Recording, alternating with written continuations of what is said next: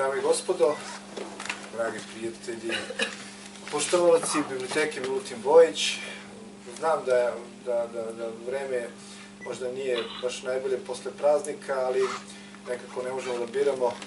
Ovo je druga sezona programa Čajanka u Senku Bojića, tribina je medij i knjiženost, ali ovaj put je jedna specijalna epizoda posvećena pre svega ovoj knjizi, ovom zborniku savremene ljubavne priče. Među vama ima autora, nešto ćemo kasnije o tome.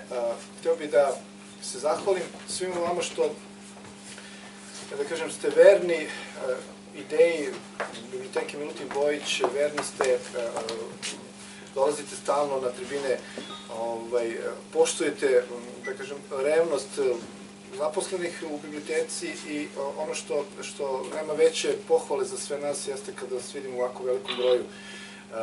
Večerašnja tribina, kao i uvek nekako, ali ovaj put da ne zvučim pretencijozno, mislim da će da bude i najbolja zbog gostiju. Imamo stvarno, stvarno slavne goste i ono što, što verujem da, da će vam biti interesantno a znam da, da jeste po prirodi takvi, ja sam, sam vas negde navikao da budete takvi, nemoj da se libite, da postavljate pitanja, budimo ono što smo bili do sada na, na granici provokacije, ta interakcija je jako bitna da bi ova tribina koja je neko rekao jedna od kvalitetnijih u državi, E sad, ona, ona nije zbog mene, ona je zbog vas i zbog ovakvih gostiju. I o, meni je olakšan posao, ja bukvalno mogu sad samo da vas uvedim i da pustim ove divne ljude da, da, da, da urade ono što inače rade čitavog svog života. Dobar pokušaj, dobar. Divni ljudi, to, to je. Što opet se nisi spremni. Magično. Divni ljudi. Čekaj polako, kad vidiš kraj, da vidiš da sve divni. Pa to samo da imate utisak da su divni, a oni su užasni. e sad, da pristojnost nalože da vam predstavim ovaj damu, gospođa Jelica Gaganović, novinar, pisac, u poslednje vreme više pisac nego novinar, to citiram tebe. Ovaj, objavila je četiri knjige, pet knjiga priča, mada sam teo da budem provokativ, kažem, romana, ali ne, neću se da preterujem ovaj, u provokaciji. Ovaj, jedan od ostivača Radio BDS2 piše blog, VIP blog na BDS2, jako uspešno radi čarobnjak marketinga na novim medijima, čarobnica. Ovaj, nešto ćemo Jelici kasnije. Ovaj, divni čovek sa moje krajnje leve strane, Stevan Krstic, on je krivac zbog ove knjige ovde i zbog prehodne, to je zbornika najboljih ljubavnih, tako je, i, on je neko ko, ko je, da kažem, da se ne ljute one koji se bavi izdavaštvom, a nadam se da neće, za lestvicu ili dve podigao ovaj, po pitanju izdavaštva kvalitet i knjiga i onoga i same ideje i nije se na neki način nije dozvolilo ga vreme i okolnosti u kojima mi obitavamo slome, nego se bori protiv svih nedaća i idemo od ruke. A sad, kako mi ide od ruke, on će nam to nešto kasnije objasniti. Ovaj, sa moje, bliže meni levo, kontra desno, kontra desno ovaj, e, gospodin Boško Savković, koji je neko ko je... Savković. Savković.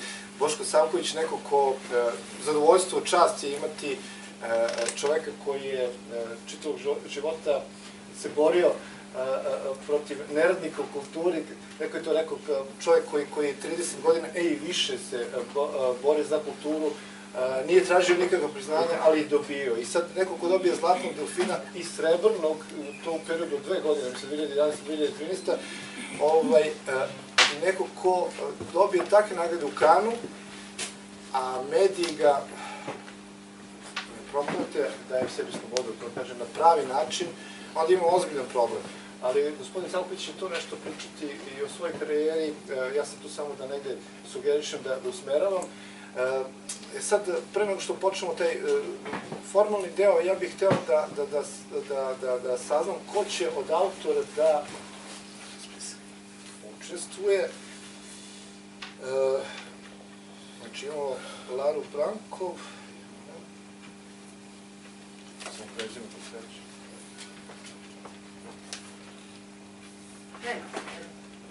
Danilo Jelić, Dušan Valjećek, Lara, Lara Brankov i Jovan Bajc. I, tako? i Da. Ljiljana, Aleksić, Milosavljević, Škiljević. Milina, Škiljević, Zoran, da. I Mina. I Ljilja i Smedeva Ajde, Milena i Ljilja. Milosavljević, ako ste E, okej, znaćemo se nekako, ovaj, nema nas puno. Jer ako imaš neko od autora ko bi čitao, nek nam se samo javi, ili ćemo posle, ćemo ovaj, prvo gospođu Ljilju, da, pošto ona živi u Smederskoj palanci. okej, da čujemo. da. E, Stefane, ajde, krenut ćemo tebe, ti si krivac što, što ovaj, u novoj sezoni e, ova tribina nosi specijalno. Pa, da li si zadovoljan, za početak, onako da se bavim ovim trivialnim pitanjima, da li si zadovoljan kako je ovaj, odnos ljudi koji se nalaze, odnosno medija, e, da li si zadovoljan uopšte kako su pristupili mediji prema ovom zborniku i, i kakvi su sad, sada tvoji utici, ne, ne vezano samo za ovaj zbornik, nego i za prethodni zbornik. I koliko si ovaj, uspeo da, da negde animiraš e, medije e, da proprate to što ti radiš? Pa nisam uspio da animiram medije, nemam utisak ni da sam baš nešto pretredno zainteresovan za tako nešto. Čini mi se malo kad sam pričao sa Javicom, možda mi je ova tema pa se, pa ih ovaj ljubav očigledno da ljude više ne zanima, ovako na ovaj način. Um, pa to je ona generalna priča koju mi mislim smo ovim tribinama izađali da, ovaj, da inače prema knjizi se odnose kao prema pastočadi. Tako da nisam ni očekivao ništa bolje. Ovo je to je što je.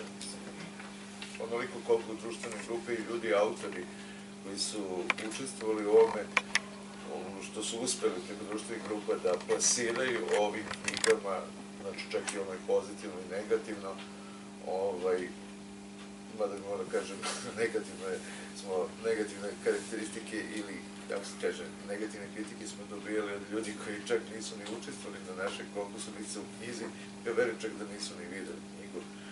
Moram to nekako da naglasim, ovaj, ali kažem, pozitivne kritike od ljudi koji su znači, učestvovali u ovome, od onih ljudi koji su imali prilike da se susretnu s ovim knjigama, jer knjige se već mogu kupiti u slobodnoj prodaji, znači nisu samo onaj sistem, ovaj, ja znam Peru, Pera će da mi prodato, ovaj, e, sistem od Delphi, da, Delphi, odvodni sistem, on prodaje, prodaje Solaris, znači to očigledno ima, ima neko taj, neki spoljni efekt i vidim da su ljudi, bar ono što ja dobijem u stvari, da su zadovoljni tim. A koliko, koliko se već kada, kada pomenimo, ovaj, moram sad za na kratko Jelice, ovaj, uh, neko rekao da, u stvari, činjenice govore da, da si ti najuspešniji pisac uh, u poslednjih par godina, ali uh, ono što je, što je interesantno i što je kuriozitet, uh, ti nisi objavila romane, ti si objavljivala, odnosno pet knjiga, pet knjiga priča. I sad, ono, tvoje iskustvo vezano za, za knjige priče, svi negde govore da su oni ovaj, outsideri, ali tvoj primjer govori da nije. Ja mislim da priče nisu outsideri, da su čak priče e, nekako glavni igrači ovog vremena i jako je čudan taj kontrast koji postoji. S jedne strane svi tvrde da su ovo brza vremena, da svi živimo brzo, da nemamo vremena ni za šta i da je zapravo kratka forma ono što više, kratka forma književnosti, ono što više odgovara ljudima. Sa druge strane, malo izdavača je spremno da izdaje priče i e, većina njih će čak odmah i reći mi priče ne izdajemo, mi izdajemo romane, hvala i doviđenja. Zbog toga i dosta mladih pisaca e, se odlučuje da debituje zapravo romanima, jer njihove šanse da im neko objavi ono što su napisali su male, pa još ako napišu priče, onda su još manje. E, moje iskustvo sa pričama je sasvim drugačije i sa izdavačima koji žele da iz- izdaju, e, žele jako da izdaju te priče. Prodala sam dosta knjiga i potvrdila da zapravo ljudi priče vole da čitaju. S druge strane, žalosno je to da zapravo e, priča kojom se, priča kao forma kojom se ponosi srpska književnost, biva nekako izgurana na margine kod izdavača, pa samim tim i kod čitalaca.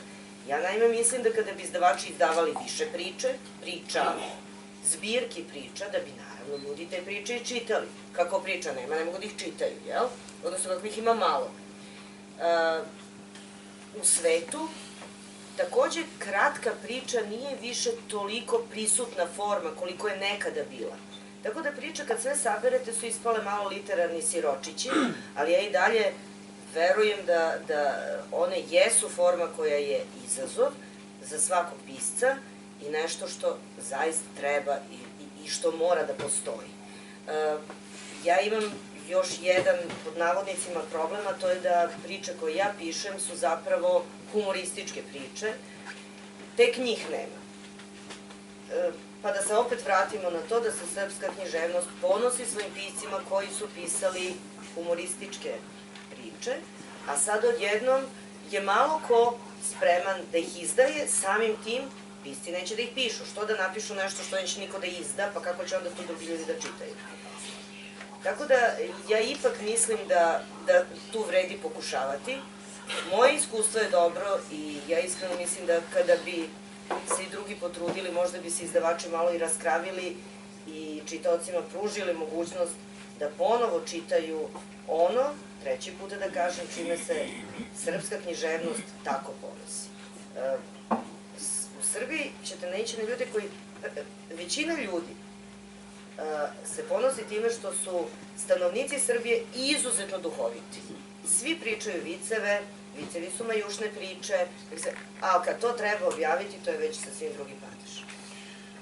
Boško, ovaj, u priči sa, sa, jednom damom, ona je rekla, e, e, ko gostuje, kažem, gospodin Savković, kaže, da, i ona kaže, e, eto, je primer kako Srbija ne vodi računa o uspešnim ljudima. E, čovjek koji je dobio zlatnog defina i srebrnog, to je na nivou Kusturicinih ovih nagrada, e, ništa manje. Ovaj, s druge strane, e, mediji su prilično onako. Za dokumentarni film su propratili jako dobro to. Što je dokumentarni film znam ljude koji dobiju nagrade, pa niko ne proprati, ne su još propratili savršeno. Kako je sa drugim stvarima. A, davno ste počeli? 70. A, nisam još tako mator. U srednjoj školi. U srednjoj školi od 78. 9. godine. Preko uh, emisije Ritam srca, tako? Jeste, mi se znamo nekad u ritmu srca je bilo davno bez ritma srca nastao polako. Indeks? Ma ne, ne, 592 pa je tako dalje. Mi, mi smo bili potpuno druga priča i mislim da je druga priča, mi smo bili... Mi smo bili konkurencija Bili sa konkurencija, ali smo sarađivali naravno ovaj, poligrami i tako dalje. 592 je ovaj, nastao sad iz emisije Ritam srca koji su Vlada Bajac ne, neko vreme tako... To je bilo odmah na početku, tako je. I Zapravo su se razlikovale, indeks od ritma srca razlikovao u tome što je jedan osnivač bila gradska konferencija omladine, a drugi bio studentska, tako je. Tako, univerzitetska i mi smo se emitovali na studiju B, ali su se emitovali na Radio Beograd. na 200 dvojice. Tako. I a, smo radili ste posle, znali smo se, malo smo se garali ovdje, ovdje i tamo i tako. Bar je bilo novca. A nije, a ne, nije bilo novca, ne, pa nije bilo novca, nego je bilo to malo je stizalo na vreme, pa ne znali smo će dobiti 300 dinara na vreme. Koje vreme? Koje vreme? Mi nismo znali da ćemo dobiti u ritmu srca, boga mi, mi smo Da, čekali. Manje više smo, pa manje više se, a i čekali smo nešto radili zbog toga da bilo Pa pare. niko za- zapravo da, nije radio da, nešto zbog da. toga, više se radilo za ideal. Tako je. Tako da ako neko sad misli da kritikuje 92-ku i odmah da vam kažem, odmah da vam kažem, nemojte molim vas, što ja se osjećam, jeste, ja se osjećam kao majka, majka narkomana.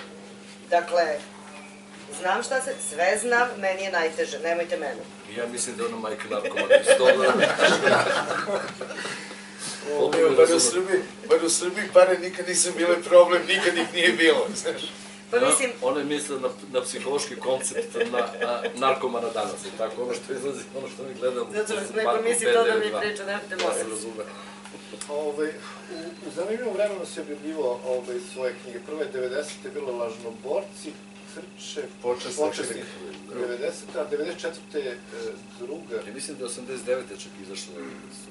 Jeste, 89. 89. Da. I onda 94. Silovanje. Silovanje Silovanje. sedme sile, kojih jedini primerak ima jedan, još jedan kod Steve Nedeljice, rasplodate. Ja čak više nema svoj autorski primerak. Pa sam onda, bilo je tu i misterije i sa druge strane i sva- svašta tu bilo nekih knjiga. Ali sad govorimo o drugom vremenu, ti lažoborci su štampani i prodati u 5000 primeraka na ovaj ili onaj način. A sad mi recite koja knjiga danas ima tiraž u 5000 primeraka. Jelica. Znam, ali, ali, ali to je dobro. To je dobro da ima knjiga takvih, ali ti pogledaš ono objektivno su knjige su se svele na tiraže ono 300, 300, 500 500, primjeraka. da. Ali da budemo realni. Država se svela. Da budemo, ne, ajde, ajde samo da budemo realni, pošto ja, ja stvarno, ovaj, slažem se potpuno, mislim da treba, mora da bude bolje, da bi trebalo da bude bolje, ali da se ne lože. Nikada nije bilo bolje. Kada je bilo bolje? Pa kad, i što bi inače pisci umirali od gladi kad im je bilo tako super, mislim. Piscima nikad ne. Pa naravno, Van Gogh je prodao jednu sliku u svom životu. Umro čovek, sad koštio po 80 miliona. Mislim, Nama su uvijek govorili da će nam biti bolje, ali nam nikada nisu rekli bit će dobro. Tako, nikada nisu rekli, e, te godine će biti dobro. Da, da, da, ali ja "Bit će prosto bolje." hoću da kažem unazad što idete dalje, vidjet ćete da je sve gore. Kad je bilo dobro? Nikad nije bilo dobro. Ovo mi je uteha, nikada nije bilo dobro. Znači, pišite. Ali, ali ja sam imao varijantu da sam sam svoju knjigu prodavao kod Mihajlović. Zajedno sa studentom, sa pogledima i dostupno da sam prodavao u Svoj Mihajlovici, na 30 metara od mene je pro- prodavao svoje knjige. Pa jeste, evo sad, evo sad ću da kažem oko knjiga koje se puno prodaju. Uh, Miri Bobić, ceo šta. grad smejao. Kada je Mira Bobić nosila kese sa svojim knjigama kroz ples Mihajlov. Ja se izvinjavam, mislim. Zašto? Zašto se ne Ne, kažem da se smeju, a zašto ne znam. I žena se trudila da proda svoje knjige. Maš tako o tome misli. A može živjeti znači. Pa naravno. On je bio onaj nevini muškarac, se sećaš njega? Da, da, jeste. Nevini muškarac koji je prodavao svoje knjige pred Mihajlove u, u kafanama. muškarac. Da, Mislim, ljudi, takve su i ako sredstva borbe su različite. Ako neko misli da će da o, napiše knjigu, neko će dobiti knjigu, pusti u distribuciju kro- kroz knjižarski sistem i žali uzmu rabu državu uzme svoje, šta će da dođe do pisca? Ništa. Znači, pravi ništa. Morate se prvo da se bijete za to što ste napisali, objavili, morate se bijeti da se to prodaje i da od toga zaradite novac. I da volite ono što da radite. Volite to što radite pre svega. Ima jedna zanimljiva stvar, zato što Jelica e, je neko ko, e, ne znam za Boška, za Stevana, ovaj, on, on je na dobrom putu da uradi, ali Jelica definitivno neko ko e, najbolje koristi e, a, a, a, sa, ovaj savremeni vid komunikacije, to, su, to je internet, odnosno reklama, marketing e, putem interneta. I neko ko je stvarno uspio u tome, to je Jelica, mada u prethodni put si rekla da je to u, u zapadnoj Evropi i Americi već e, godinama se koristi na pravi način da ovo iskorišćava. Ali ono, volio bih da ponoviš sve, izgleda da ljudi dobro ne čuju, imaju da selektivno pamćenje, pa ponovi, molim te, taj, taj segment vezan za, za, za internet i za reklamu, pogotovo za pisce. Zapravo, i osnovna razlika u tome što kod nas se još uvijek društvene mreže, kao što je blog, kao što je Facebook, tretiraju kao društvene mreže. Namerno sam tako rekla. Na zapadu već dugo e, društvene mreže se zovu social media, društveni mediji, jer one zaista to jesu. One su noćna mora cenzorima, ma gde oni živeli, jer vi možete da cenzurišete knjigu, možete da cenzurišete novinu, ali internet ne možete da cenzurišete, možete da ga ukinete, a to onda nekako nije uopšte lepo. E, tako da za to je potreban baš onako drastično mora da bude. E, I ja verovatno imam iskreno rečeno profesionalnu deformaciju. Dakle, ja se od 84. godine bavim novinarstvom, pre svega političkim novinarstvom, ja znam kako se upotrebljava medij. I to je ono što je zapravo meni dobro došlo na nečemu što se sada zove društveni medij. Ja znam da većina ljudi koja se pojavljuje na tom društvenom mediju zapravo ne zna da radi na mediju. I da zbog toga ne mogu da iskoriste sve što taj medij zapravo nudi, sve prostore koje on otvara. A, naravno da to što ne znate nešto da uradite, ne znači da ne možete da naučite da to uradite, ali samo treba da budete svesni toga da to je medij. To je medij kao novine, kao televizija i kao radio. Samo treba da naučite da to koristite. Postoji puno načina da to naučite. E sada, naravno da to pred, pretpostavlja i rad. Dakle, morate da vežbate, morate da vidite ko je vaša ciljna grupa. E, tu moram da napravim jedan vrlo izričit izuzetak. Dakle, kada tražite svoju ciljnu grupu, nikada nemojte tražiti zato da biste prilagodili, u ovom slučaju pričamo o književnosti, svoje pisanje i svoje stvaralaštvo onome šta ljudi očekuju od vas. To je krat, trka na kratke staze. Dakle, to možete da radite neko kratko vreme, a onda više ne. E, kada govorimo zaista o stvaralaštvu, ja pretpostavljam da ljudi stvaraju ono što vole, što prosto izlazi iz njih, za čim osjećaju potrebu, ne obraćajući pažnju na to koliko će ljudi to da pročita, da vidi ili da čuje. To je vaša unutrašnja potreba. Stevane, Jelica mi dala, dala dobar uvod, ovaj, kad je rekla trka na kratke staze, bojim se da si ti maratonac po pitanju izdavaštva, ovaj, jer negde sam imao utisak, a više e, sati smo pričali u poslednjih par meseci, svaki put odnosno pričamo o tome e, koliko je e, teško u današnje vreme imati kvalitet, odnosno juriti za novcem kao izdavač. I, i, i negde moram da koristim ovaj termin, neće mi neko zameriti, da dođe u situaciju da se prostituiše. I on, on, on se negde nije prodao, a, a, ima taj tvrdo, tvrdokorna stav, ima taj princip koga se drži, pa makar i ono sebi štetio svojim postupcima, šta, na kraju krajeva šta je tvoj cilj? Objavljaš ovake, ovake zbornike, ne znam da li ovi ljudi koji su se pojavili u zbornicima znaju koliko je uopšte teško dobiti kvalitetnu knjigu. Kad kažem kvalitetnu, ne mislim u smislu samo unutrašnja forma, nego mislim i ovo spoljašnja. Od naslone do papira, do, do uopšte pristupa samom delu aj molim te ovaj, da, da, da čuju, čuju ljudi, verbalizuju ono što, što si meni govorio. Dakle, to je neka, ovaj, ovde smo svi na neki način već dugo godina u izdavaštvu. Je ovo 34. godina. Kako sam ja se, tako se dobro, ne, 46. Do da 32. Ovaj, 33. i 34. Znači, naučio sam, radio sam na onim socijalističkim vremenima, radio sam 90-ih, smutnim vremenima. smutnim vremenima sa Boškom Savkovićem, naravno. Radio sam i sada kada je u neo, da ne kažem neokapitalizmu, zamišljeno kapitalizmu, kad naši, naši, a naši bivši trgovci, ne znam, akviziteri postaju izdavači, I onda vidite taj odnos da ovaj, nikog, nikog stoji suštinski ne zanima kvalitet. Čast naravno izuzecima, da pričamo o Buni, Vulkanu, mislim, to su neki ljudi koji rade, rade na duge staze, rade, ra, rade velike projekte, ali kažem mi koji smo, eto, na neki način, evo ovako, u ovoj poziciji, na, ja sam, mi smo ovde sad, kada se Balkan tek na početku, mada da li smo uspio da reći početku, Si prevazišao početak sa, sa Dobro, mislim, ali kažem, hteo sam, hteo samo da kažem da sam ovih 30 godina uh, shvatio šta ne treba, kako ne trebaš da radiš. Mislim, i uh, to je već nešto što možda i perverzija, držati se tvrdoglavo da uradiš baš onakvu knjigu kako hoćeš. mazohizam. To je mazohizam, tako. Ljudi ne znaju koliko ova knjiga košta. Ona, ona je skup. Onome ko kupuje. Koliko mislim, kad već pominješ, onda, ajde, možemo otvoreno da pričamo o, o, o vrednosti ove knjige u, na, na tržištu, odnosno Lagune prodaje po 1760, ovu knjigu 1760, prethodno 1560 i daju neki popust. Mi prodajemo po 1200, 1300, znači to je 10, 10 i 11 eura, proizvodna cena knjige je 8,5 eura. Ko je sve od autora ovde? Ko je sve od autora ovde prisutan? Najpre urednicu Marinu. Ne brini se. Hoće, hoće.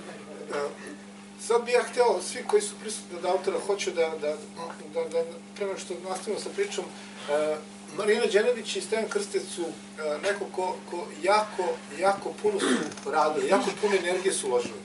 E, ne znam da li, da li uopšte imate svest o tome, mo, imate svest u smislu kao tu se nalazimo u knjizi, ali je mnogo ozbiljnije priča.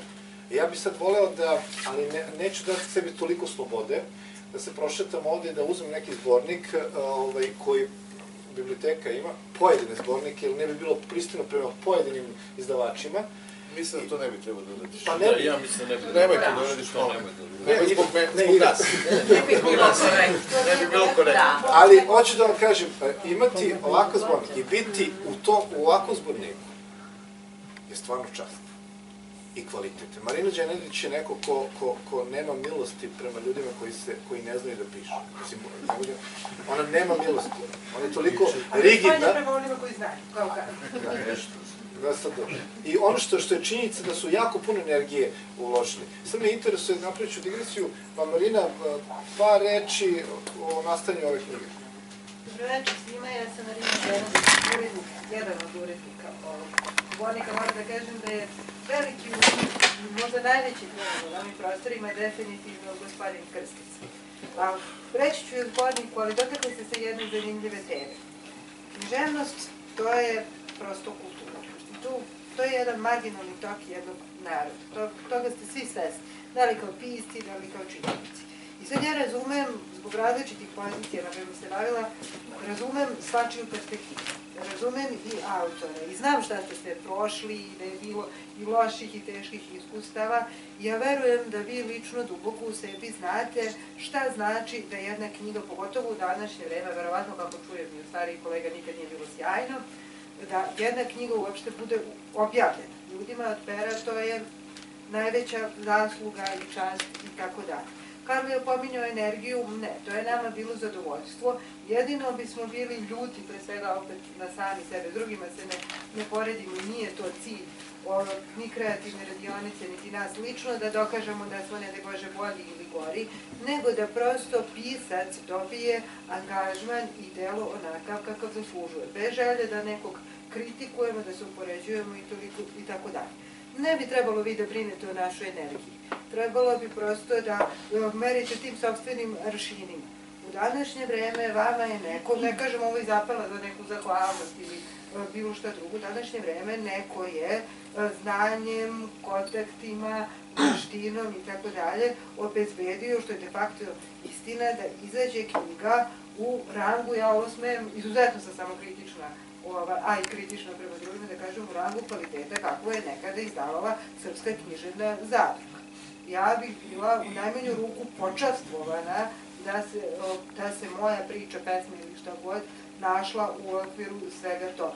Isto tako najmanju odgovornost, naravno dobro, po- poželjela bih tu knjigu da posjedujem, pa bih je kupila, ali najmanje ono što bi osjećala jeste da prosto izrazim svoj stav prema tome čak i negativan ili pozitivan ili tako dalje. Znači da li kao autor, da li konzument i tako dalje. Ima tu jedan paradoks koji smo se skoro ovaj, setile, ja i jedna od autorski zbornika i takođe osoba koja se koja i radi u izdavaštvu, a ima i objavljene romane, što je mlada Jovana Ristić, ima nešto vrlo simpatično. Kao književna scena dalje živa, mrtva, ne, nije, nije mrtva i dešava se.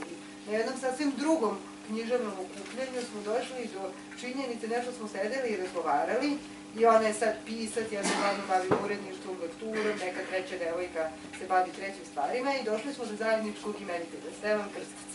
Zapravo nas je sve, i sad radeći za neke druge izdavačke kuće, svi kažu, e, odlično si ti Ivan Zanat, došli smo do jednog zajedničkog imenitelja. Na neki način nas je u najpozitivnijem smislu po, proizveo Stevan Krstić. Ali oni što drugo, drugi izdavačke kuće definitivno nisu uradile, nisu uradili takvu, ovakvu knjigu kako ova jeste. Ne samo je- vizijom... Neko je nazvao Stevana Krstića ovaj, dobri duh kasme. Pa ni- nije stvar u dobrom duhu, nego prosto e, mi svi, gled, svi smo nešto šta neko nije uradio ili šta bi trebalo da je uradio. Je A, ali ajde da vidimo šta jeste uradio, pa iz toga zajednički... Ti zadovoljna? E, Ja sam, e, pa ne mogu kažem prezadovoljna, jako sam zadovoljna, E, u stvari problem je sad ne ići neke naredne projekte, pošto sad možda sam ja pretjerano ambiciozna, ali uvijek želim da budem bolja i smatram da uvijek može bolje. Jako sam zadovoljna zbornicima i vizuelno, pre svega jezički normativno i sadržinom prosto, ovo će biti tek interesantno za jedno deset godina, jer su prosto zastupljeni autori sa raznih prostora i čitavog regiona i neke konačnije odgovore na čitavu ovu zamisao moći ćemo tada da dobijemo. Kao sam, u stvari su dobro bude, Boško, e, za 10 godina. E, 96. e, je bio si jedan od osnivača naših krmača. Jedna novina koja je uzburkala tadašnju, e, ne samo političku javnost, nego generalno javnost. Pa izburkaju i dalje, ovo ljudi se dan danas sveta nekih naslovi strani, samo kažu, kaže, ali ste bili dalekovidi. I dan danas ti uzmeš te novine i shvatiš da se ništa nije promenilo. Znači, apsolutno ništa, samo naslov strano gde ona kravicu sa PKB, umesto PKB piše ovde SPS piše dole nek presniku crkne krava. Da, Mislim, I dan danas je to, ovaj, treba imati ovaj, i soli u glavi i nešto ovaj, dole, ovaj, Evo, tako nešto- raditi onda u ona, ona luda vremena. A, vidi, svet u kome ubijaju karikaturiste je karikatura od sveta. Mi znamo šta se desilo juče prekriče šta se desilo u Francuskoj.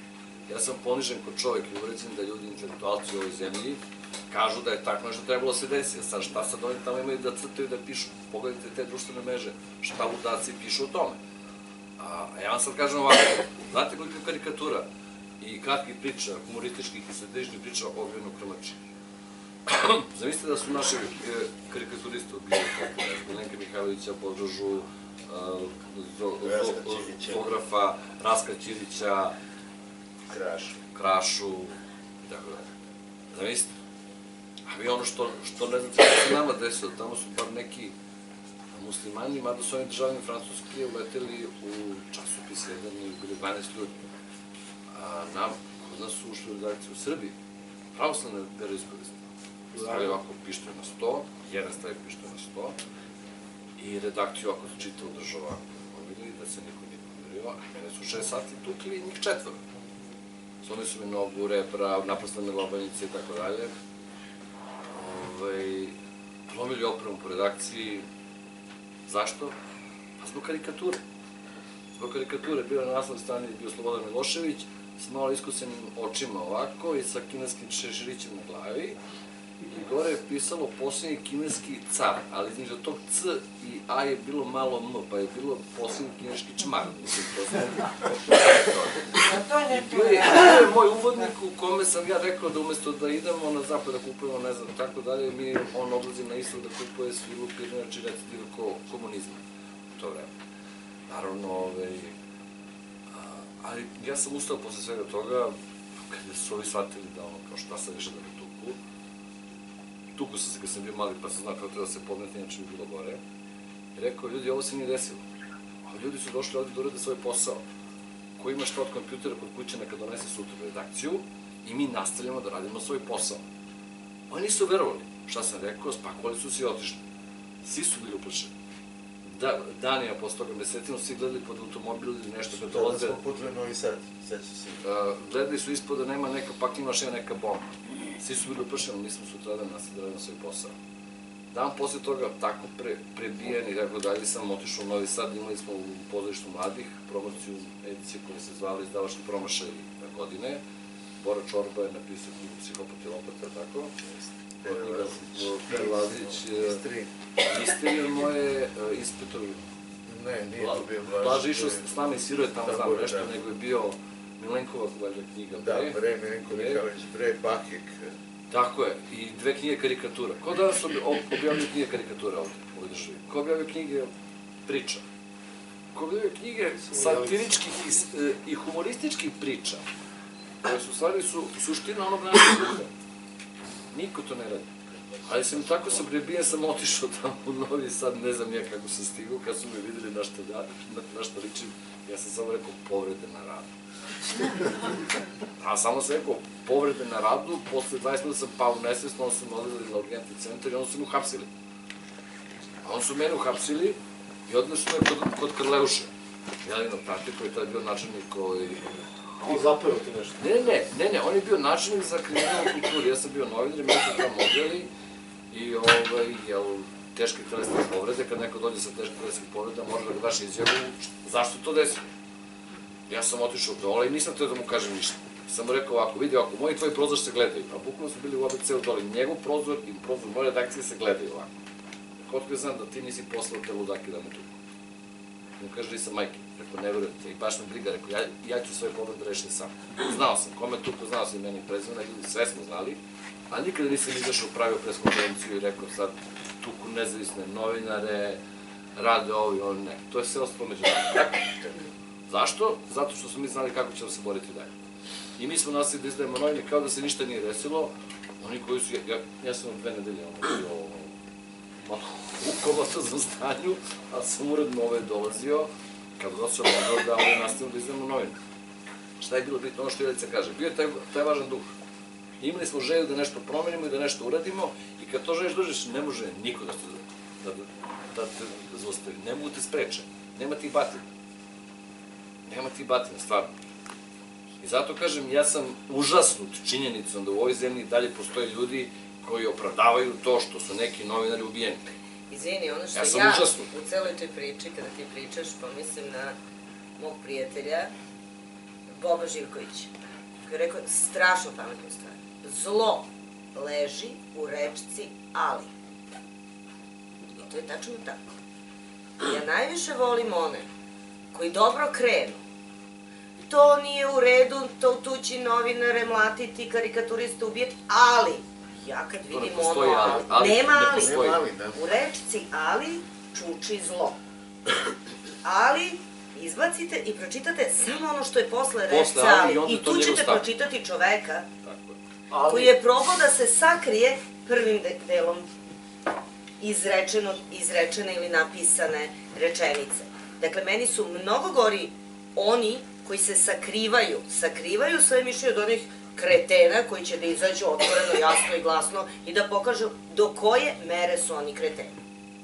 ćemo napraviti malo I to se pauzu u, da. u vidu ove, jedne kratke priče koje će draga gospođa Ljiljana da nas počasti. Hvala svima, jer ovaj trenutak je za mene nešto posebno, to je deo moje duše, a ovo što sam napisala, ni moji najrođeniji ne smatruju da je nešto. I to ih ne zanima. Rođeni i užni su kriterijum da ne To ih ne zanima, tako da, eto, vi ste moji bližnji. Ništa, ne čujem aplauz podrške.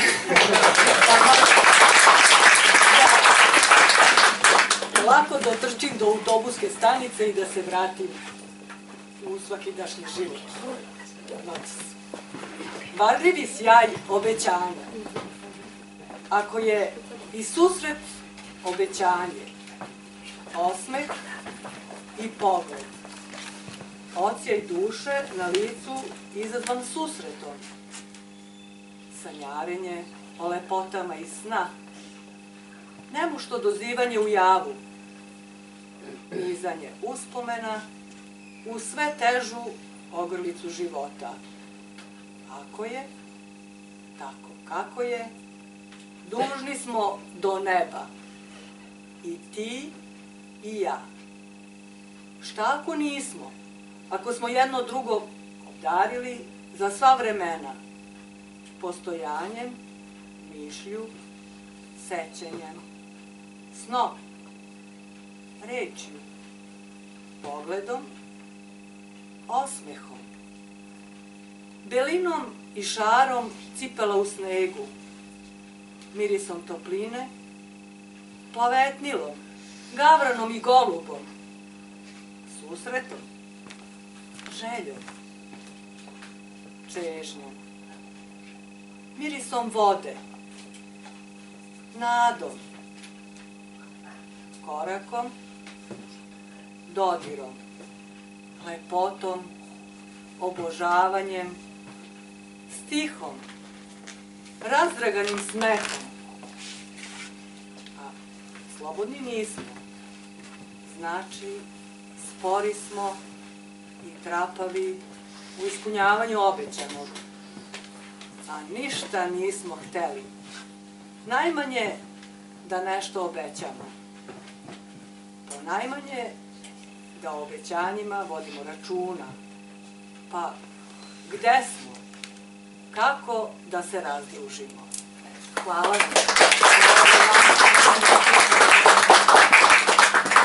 A, Dužni smo jako puno, a vi pogotovo koji se nalazite u ovoj knjizi, ovom čoveku ovde, ovom skromnom, divnom čoveku, ovom mladiću, koji, Propašću, bre. Koji čini čuda. Nemoj, molim te sad.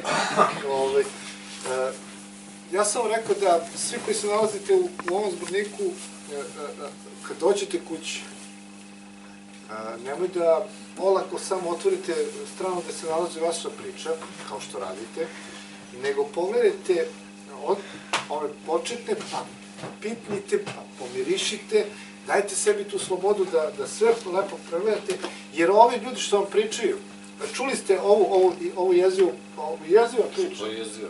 to je jeziva, košmarna priča. To je život. O, ovdje imamo jedno, jedno Nije strano, jezivo zato što je neko imao da od drugara prijatelja da stavi mene u moj socijalni auto da me vrati u urgentni centar. Čovjek je dobro imati prijatelja za sebe, tako da... s jedne strane jeziva, a druge je jezivo da nisam imao prijatelja. Ne, je ali, poučna priča. A, a, a, polomili su mu nogu, rebra, a, u bolnici je bio, ono, šest sati ga tukli, a on je sutradan otišao. Kao da ništa nije bilo. Potpuno, kao da je zdravo. promocija Novi Sad. U, I tu u promociju Novi Sad. Naravno, kad su ga vidjeli, oni su razmišljali šta, 20 minuta, posle pao u nesvijest, pa ga dizali, pa... O, obratite pažnju na te momente. Ima to jedna mala anegdota koju Boško naravno nije hteo da ispriča. Ovaj, sutradan kad trebali da putujemo u Novi Sad, to je bilo oko 12 sati, trebalo je da nas putuje jedno sedam, sedmoro, osmoro auta, otprilike, znači 30 i nešto ljudi. Da, Ljudi su bili spremene šminka, trebali su da igraju Vuka, Šešelja, mislim, on cirkus jedan ceo kompletan. Boško je vozio Fuega, ali tako beše, ovaj, Renault Fuego. Da, Renault Fuego i ovaj, znači, Bole trebao da ide, ne znam, sa još jednim ili dvoje ljudi tim autom, međutim, kad smo se sabrali tamo u redakciji, ispostavilo se da nas nema ni za dva auta, mislim, nekom se razbola tetka, nekom ovo, nekom ono, neću da imenujem ljude, ovaj, hvala Bogu. E, glavno, seli smo, uspeli smo da, e, sa Boškom smo imali hrabrosti da sednemo e, Pet, Pera Lazić, Gaga, Dra- Gajtović, Vladimir Gajtović i ja. Mi smo čak imali hrabrosti. Pre, jes da smo pre, ispod toga malo virili, ovaj, ispod auta, one kao gledalce smo tražili, ima, da li ima nešto, znaš, ono, ali smo seli, onako hrabro smo se uputili, bilo i po ovako neka, neko vreme klizavo, i što sam preko banstova, mislim, nije bilo sve. Šta može da se desi samo da letiš u vazduh i ovako to? Je samo trenutak u životu. A letenje je škola. Ovo, Jelice, si imala ti ovakvih situacija? Ne, baš ovakvih... Mislim, ali, ali ne mogu, prosto, e, ja sad malo preskačem, e, to što kaže Boške, to što kaže ti, mislim, stvarno ljudi moraju da budu neverovatni idioti, što ovi definitivno jesu. Da ne pogledaju unazad i ne shvate. Da neke stvari ne mogu da se zaustave. Ti možeš da pretučeš nekog i možeš da ubiješ 12 ljudi, možeš da ubiješ i 2 miliona ljudi, ali neke stvari ne mogu da se zaustave. Da, prosto ne mogu. Jer u čoveku postoji nešto što ti jednostavno ne možeš da zatreš. Ali kada ti sada pričaš o tim automobilima, ja nikad neću zaboraviti potpuno nadrealni susret pokojni Voj- Vujica Rešin Tucić sa Svetislavom Travicom, dakle, ekipa avangardnih pesnika.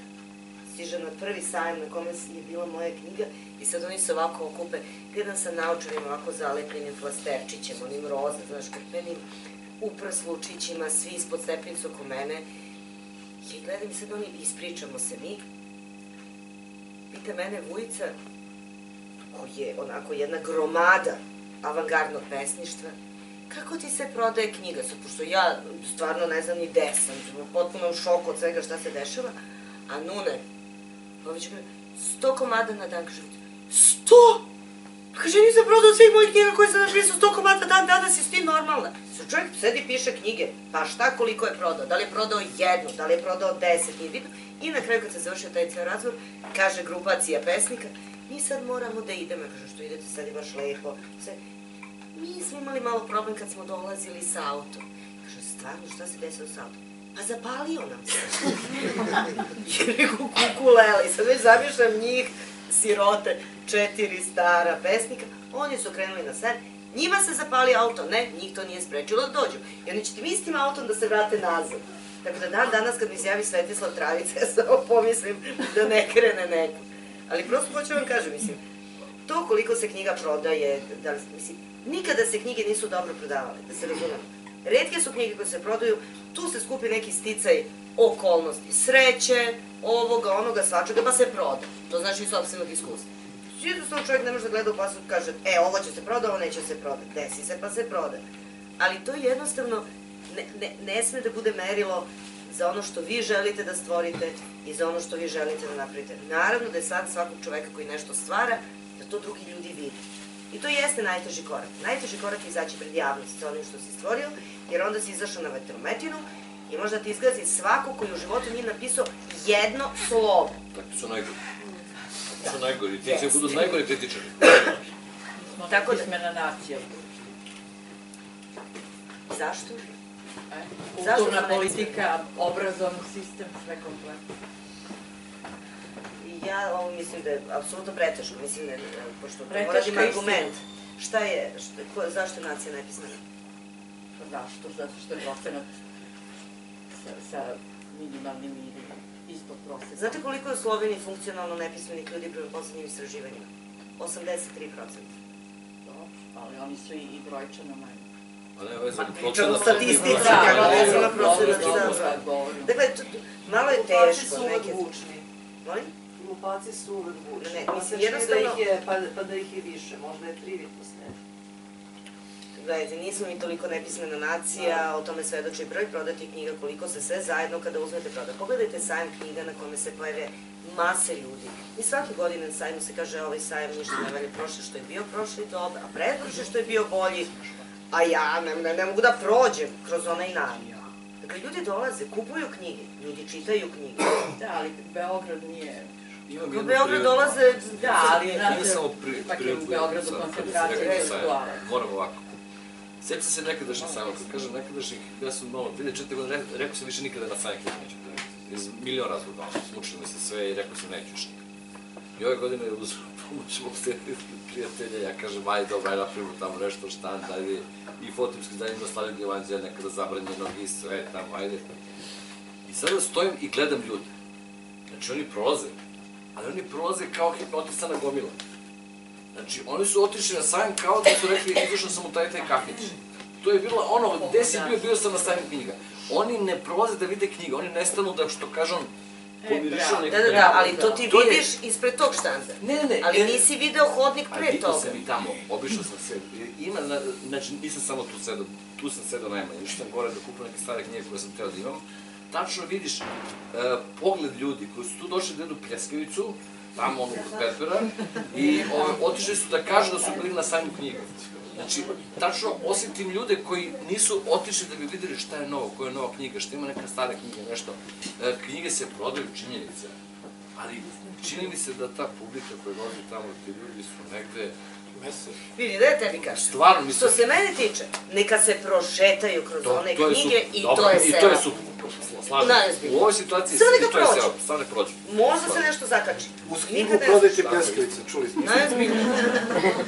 Samo tu da da. samo tu da prođu i to je već dobro. Slažem se.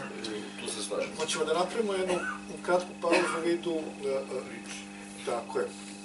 E sad, e, mene nekako priliči ideja da, da mladi ljudi koji, se, koji, se, koji pišu i koji imaju ambiciju da možda nešto i postanu a, u budućnosti, odnosno da budu aktivni u, u toj delatnosti, pa ja vidim jednu mladu damu, mislim da u Zbrniku, pa ako nije problem da se ti predstaviš, ne moraš celu priču, znači fragment samo, delić, ili nećeš, dobro. Ne ide mi baš izraz. Hoćeš da ja pročitam tvoju priču?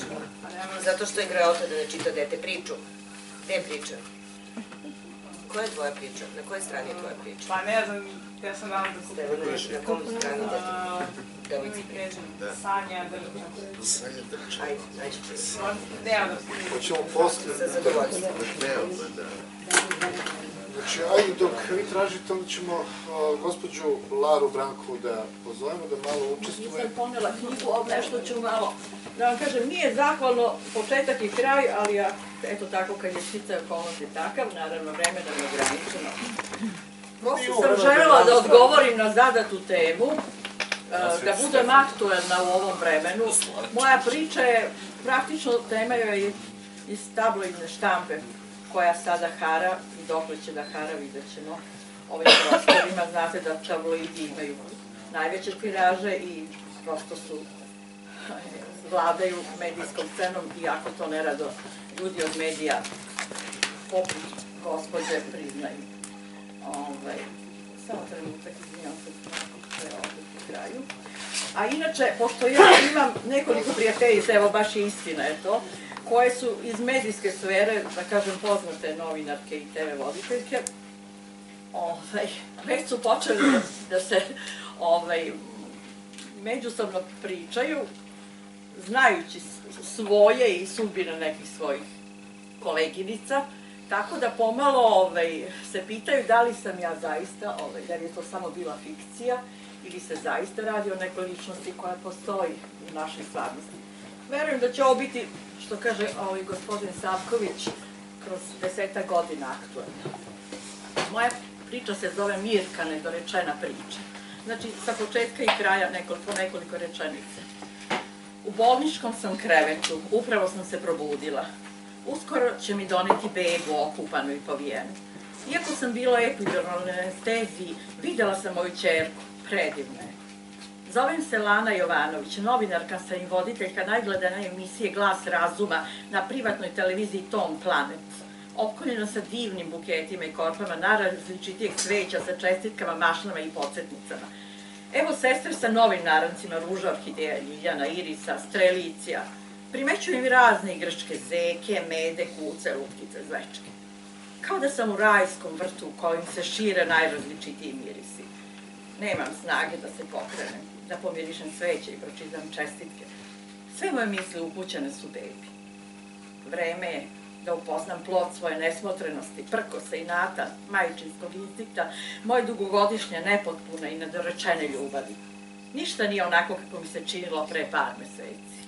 Nečiji zločin za mene nije kazna. Postigla sam najveći uspeh u životu. Postala sam majka. Moja čerka Mirka, još ne zna da će se tako zvati, po Mirku Stojanoviću, mom Mirku Mirkiću, moje prvoj dugogodišnjoj ljubavi.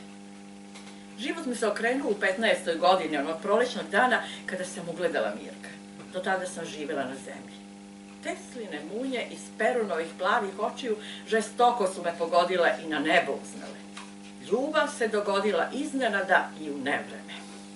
Dobro dete uglednih roditelja zatreskalo se na prvi pogled u lepog, sredovečnog pravnika, oženjenog, oca troje male dece, finog i poštenog, baš tako. U malom gradu u provinciji sve se zna, šta ko kuva i šta je ko obukao. Ko, se sa ki, ko sa kim i kako živi, ko je švaler, a ko ne. Tog majskog dana iste Tesline munje iz lepih bademastih očiju moje malenkosti Lane Jovanović pogodile su i uzornog, neporočnog Mirka, visokog, vitkog, smeđeg pravnika u opštini. Sve je bilo kao snu, kao na filmu. Nebeski osmesi, značajni pogledi, stidljivi dodiri, tajne šifre i poruke, naš jezik sporazumevanja, naš svet, naša magija i čarolija.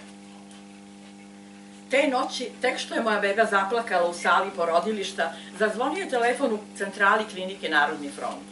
Oprostite, e, da li se Lana Jovanović porodila? Ko je kraj telefona? Otac deteta Mirko Stojanović. Upravo se porodila. Dobili ste devojčicu, porođaj je protekao normalno, sve je u redu, čestitam. Hvala vam, sestro, mnogo vam hvala, zvaću vas kasnije, zvaću ponovo, hvala vam, sestro. Tog jutra elektronski mediji su javili. Noćas je u saobraćajnoj nesreći nadomak ginekološke klinike Narodni front u direktnom sudaru sa kombi vozilom U svom džipu marke Pajero poginuo na licu mesta poznati biznismen Živadin Žika Tešić. Na zadnjem središtu kola nalazio se ogromni beli meda igračka, korpac za crvenim ružama i flaša šampanjca Dom Perignon. Po rečima ekipe hitne pomoći unutar vozila mirisao je na, mirisalo je na krv i ruže. Mirka, nedorečena priča, kraj. Krajeva je bezbroj, ali i početak.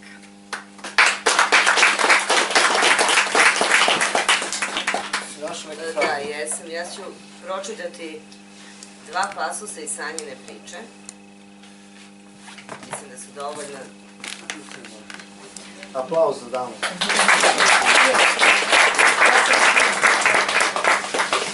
Ajde se, sjedi, molim te ovdje, pa da pozorite da to čita ovaj... Slika. E, tako, da to čita tvoj... Vreme je dragoceno i niko njime ne može rukovoditi.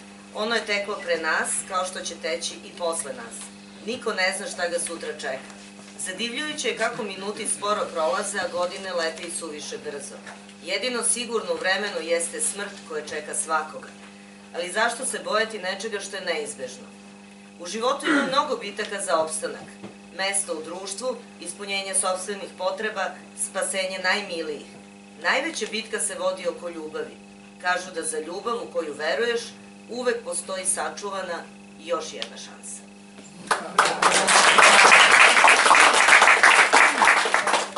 Ovo je recimo koliko zadovoljstvo. imaš godina? 16 još uvijek. 16,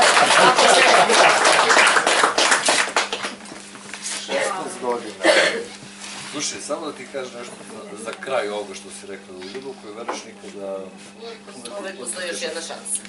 Kad sam bio tvoje godine, napisao sam nešto, sad se setio, ode. Ali ja znam čitavim sobom, mi jedno bez drugog nemamo kud i makoliko vremena prošlo na čitavom svetu, ja sam tvoj deo i tu svi drugi ne postoje.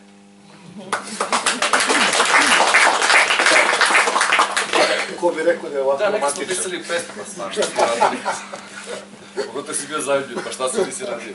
Skoro sam našao svoj dnevnik iz tog, iz tog vremena, pokazao sam ga svojoj čerke koja sad ima 15 godina, još malo i hormoni su kroz mi ovako veliki i tako da je užas. Ovo, sve nokte, farbu kosu i gimnaziju i sve ludilo. I onda mi je rekla šta je to, ja sam rekao dnevnik, kad sam bio u neku Katarinu. Gledalo me kao čudo, jedna je počela da čita, jedna kaže, ti si ovo pisao s kog godina, kažem, pa sa 15. I meni je drago što takve se stvari sa, sačuvaju. Verovatno bih sada napisao na jedan drugi način, ali onda shvatiš kako si pisao, kako si bio zadnji, kako je ljubav u stvari, ljudi, samo treba že voleti nešto da. Kad nešto možeš, bilo, bilo kako. A, muškarca, ženu, prijatelje, knjigu, znači to voliš. Onda si posvećen tome i guraš tu priču i nema te brane koje te može za, zaustaviti. Da je jedan sjajan uvod. uh, uh, Medij i književnost, odnos prema književnosti, odnos medija prema kratkoj priči. Ti si prav, ne možeš izvući sad, mislim... Ljudi, ovako, ja sam, pošto je ovde u ovoj viziji ovaj, se pominje mladi visoki pravnik i tako dalje, ljudi ne znaju da sam ja magistrirao pravo na Columbia univerzitetu u Njurku, na primjer. Ja sam, onako, iz zezanja sam završio međunarodno pravo tamo, potpuno jureći ne za titulom koju nisam, nikad nisam notifikovao ovdje, ili to je nemoguće uraditi, niti da bi se bavio pravim naukama, ne bi, nego da bi shvatio državu i društvo u kome živim. Znači, prava su ovaj, ono, filozofija na svoj način. A njujorški dani su u stvari prolazili tako što sam radio one stvari koje je radio Mika Okop nekada u knjizi kao blues, neću da pominjem, ima mladih ljudi ovde. Radio sam po građevinama kao pioner, svašta sam radio. To ti je iskustvo. Iskustvo to je nešto što ne možeš da promeniš. E onda sam shvatio šta znači tamo ovaj, biti e, e, neko ko uđe u knjižaru i kako izgledaju knjižare u Njujorku i kako se mediji odnose prema ovaj, nekim knjigama i kako se odnose prema bestsellerima i šta znači kada se pojavi ovolika kolumnica ili članak u New York Timesu o nekoj knjizi. I onda sam shvatio zašto su tiraže toliki, zašto se knjige prodaju, zašto se knjige pišu. I ovaj, znaš, kada uđeš u knjižaru, kao da si ušao u najbolji supermarket na svetu. Znaš, to to ti je ono kao, kakva metoda, kakva ideja ljudi, šta mi je, to je knjižara. Knjižara na petoj aveni, pa to je, ne smiješ ni da primirišeš unutra. onda si ono, sam odlazio prema nekoj Lexington Avenue, pa sam tamo shvatio da su tamo neka druga izdanja. Neki drugi ljudi su pisali neke malo manje dobro opremljene knjige. Ali onda shvatite, uh, kada New York Times napiše nešto na knjizi, ta knjiga nestane. Ali to nije izlobirano, to je neko pametno odlučio šta će da napiše. To nije kupljen članak. Ne možeš ti tamo da platiš nekoga da napiše da je tvoja knjiga dobra. Ono što se ovde redovno radi i tako dalje. Znaš, neko tamo ovde, ajde objavi nešto da je ušlo. Niko iz Steva ne zna, niko iz Steva, niko nije interesantan, nije član ni- nikakve partije, nikakve kriminalne organizacije i tako dalje.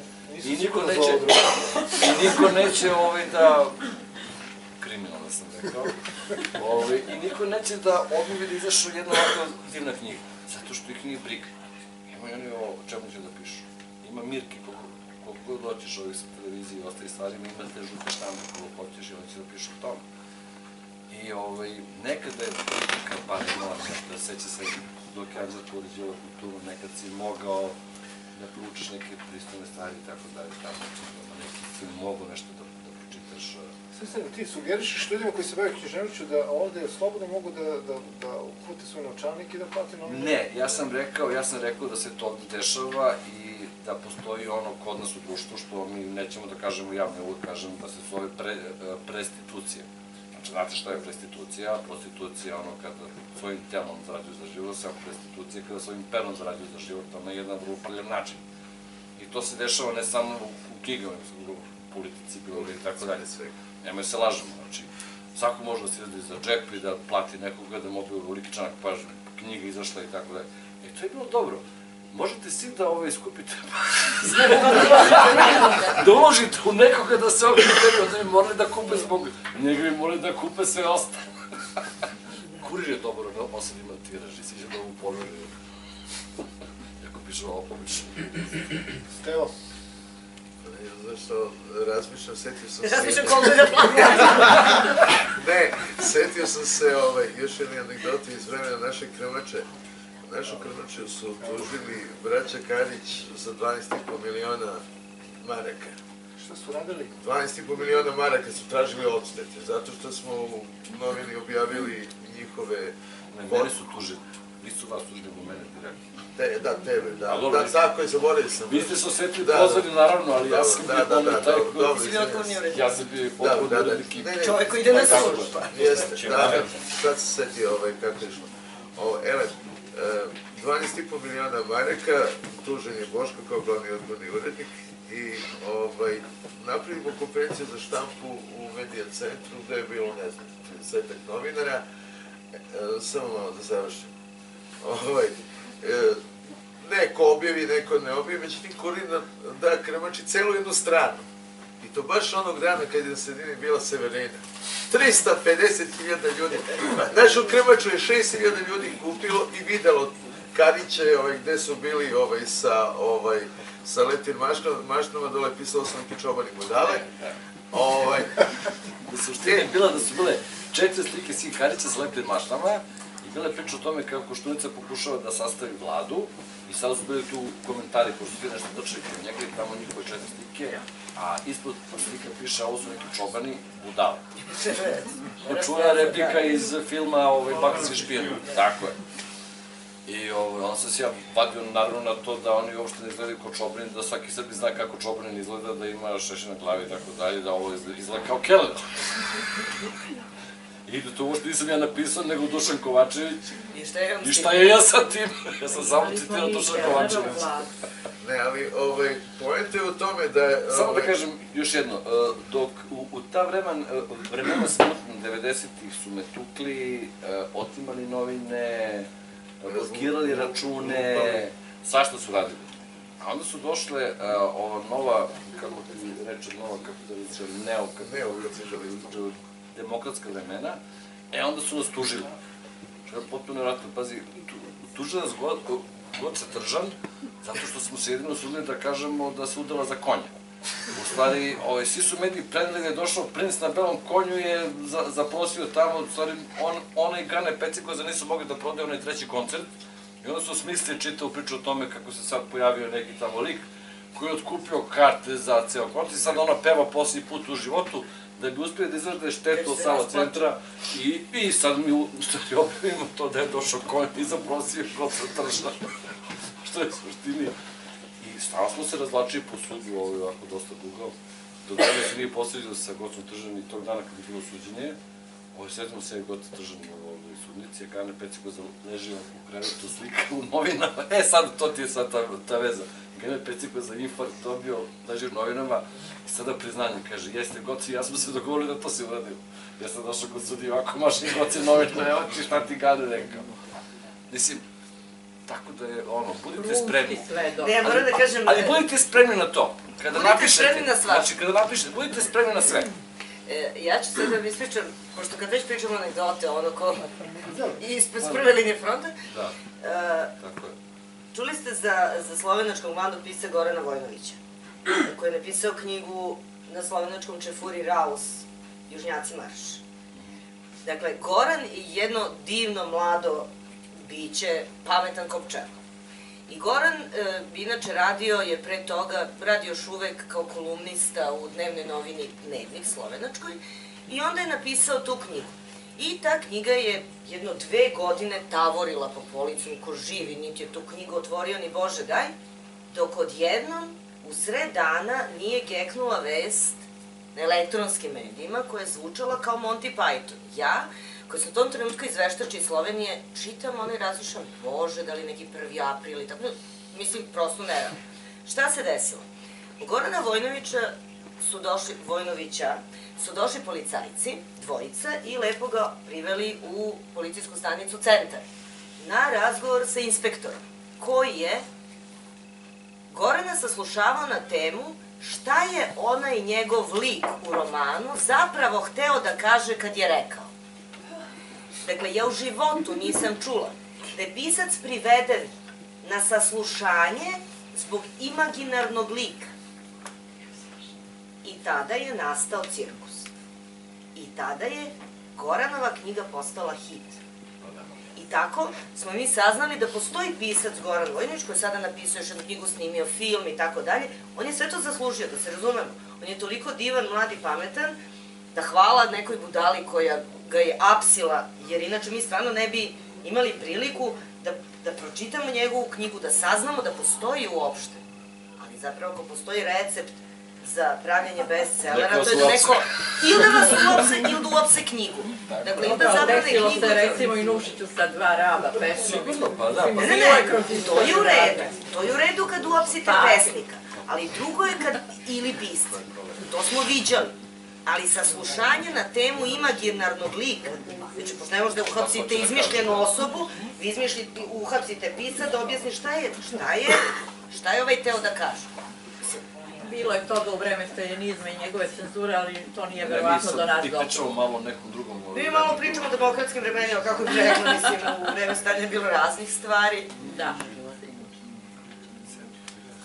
Mada u principu, ovaj, skoro sam nešto čitao, video sam na Facebooku uh, od anarhije do demokratije, ono, ono poređenje, nije se vidjela ti to?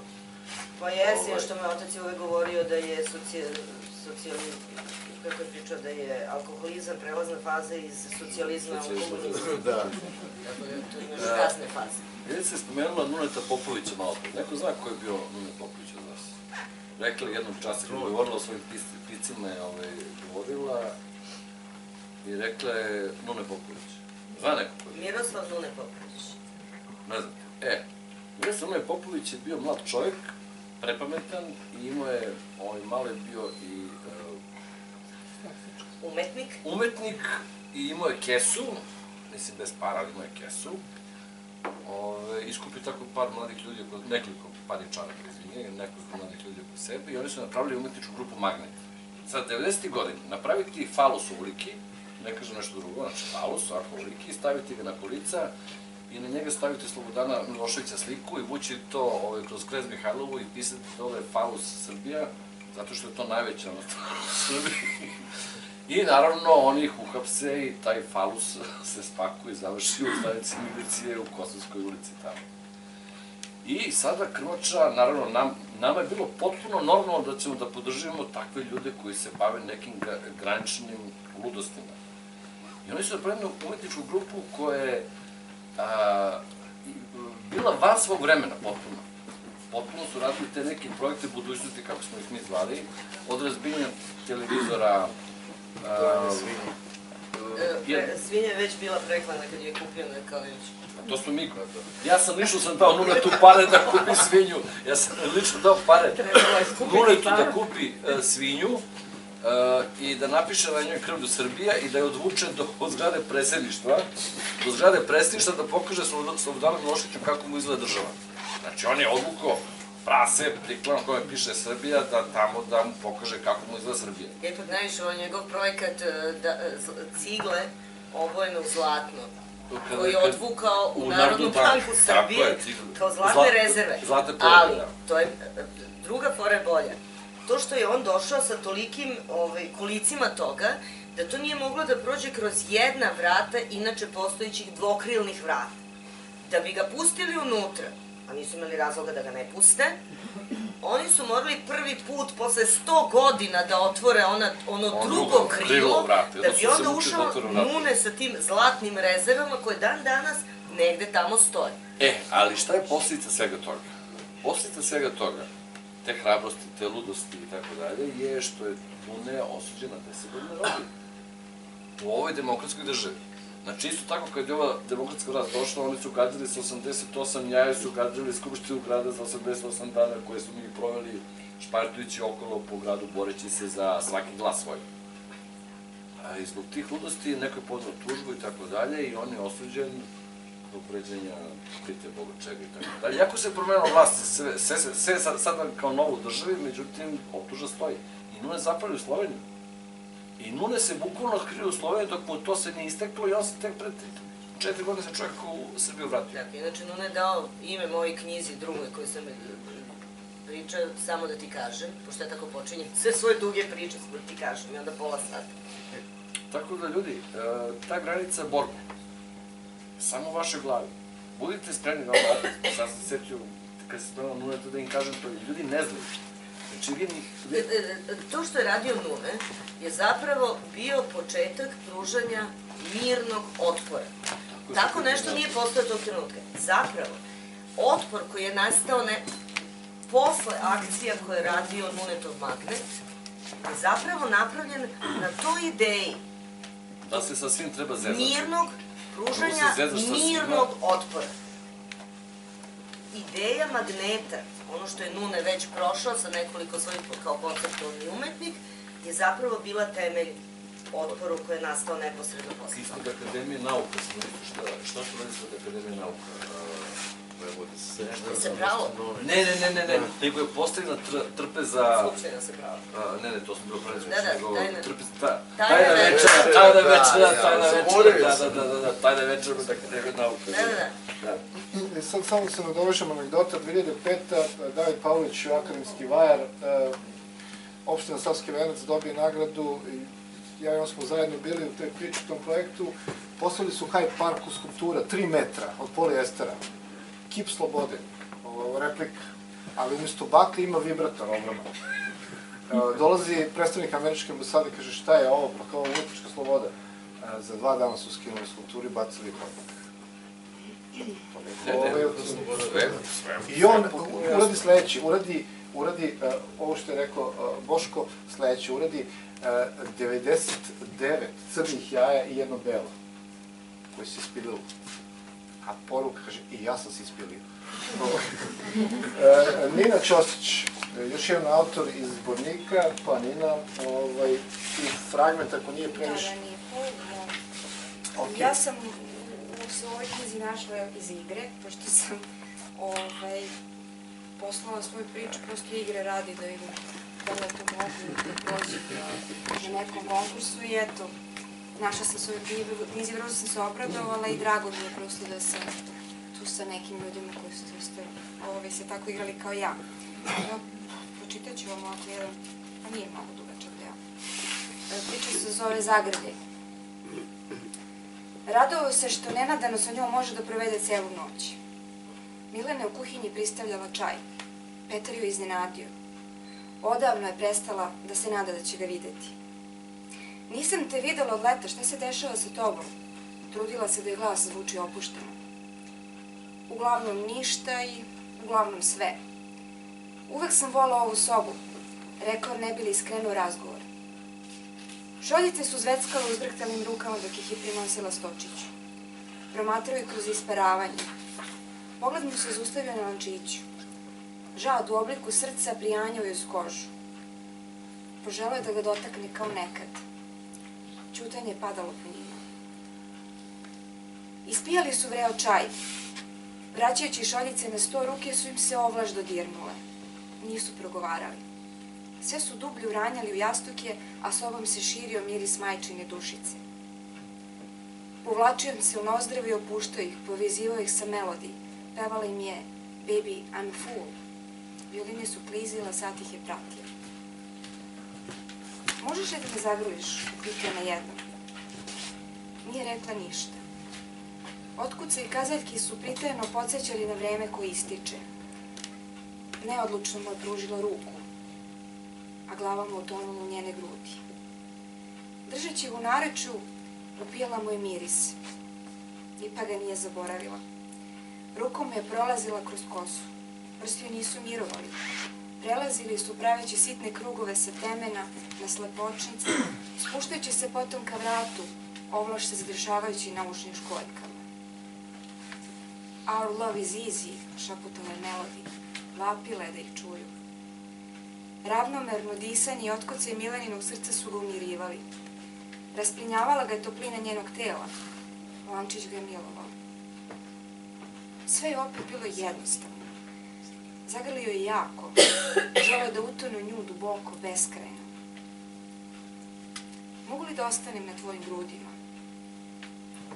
Zadržala je dah i zažmurila. Da, rekla je jedva čujno.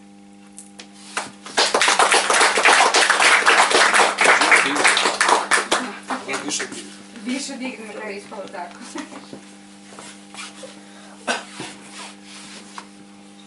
Ovo je više od igre. Pa, z- znaš šta, e, kad je devojka rekla to ovaj, da se igrala, e, čini mi se da ima tu, ne, ne samo vi, nego ima tu još, ovaj, još autora koji su poslali po prvi put priču, ovaj, koje su, koje su, te priče su bile sasvim ok, one su ušle, ovaj, pored onih ljudi koji već poslovično pišu priče. E, ele, da se, e, još nešto, da se ne dovežem na onu priču, ma, nije hrabrost objaviti knjigu priče, ja mislim da ima, da ima u Srbiji. Hrabrost je baviti bilo šta što stvoriš. Upravo to, da, ali nije, i, i priče, ne, mi smo sad, ovaj, Misliš izdavača ili na... Da, na izdavače, na izdavače, da. Na izdavače. Znači, mislim, sve, priče, priče bi, ja mislim da bi, da bi još i mogli da se lepo, da se lepo prodaju na ovakve auto kao jednica, ovaj, dobar i pozitiv. Može i ovo da se proda, ovo smo videli, ovo smo videli da funkcioniše na osnovu ove e, poezije i znamo da će i ovo da se proda, mislim, to uopšte nije sporno. Sporno je samo jedna stvar, što za ovakve poduhvate treba puno novaca za koje mi kao mali, sitni patuljci od izdavača ne možemo da Da ja podnesemo. tebi kažem nešto. Za ovakve projekte treba mnogo više ljubavi na pare. Nije dobro, mi smo samo to imali.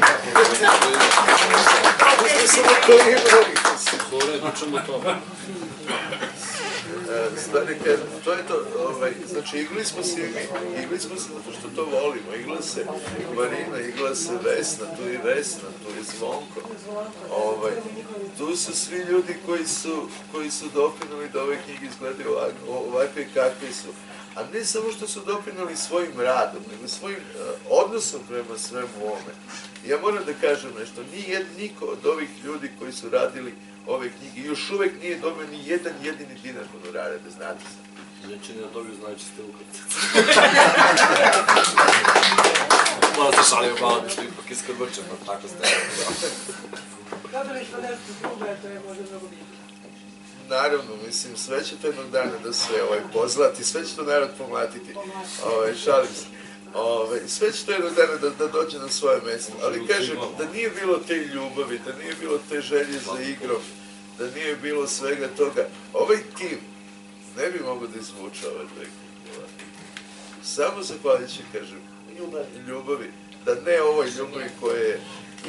Pre, pre, ove, pre ove večeri pričali smo Jelice napolju malo o toj temi, pa, se, pa, pa, sam, pa, mi, pa se sad, se, sad se, sedim i razmišljam, rekao, kako je lagodno.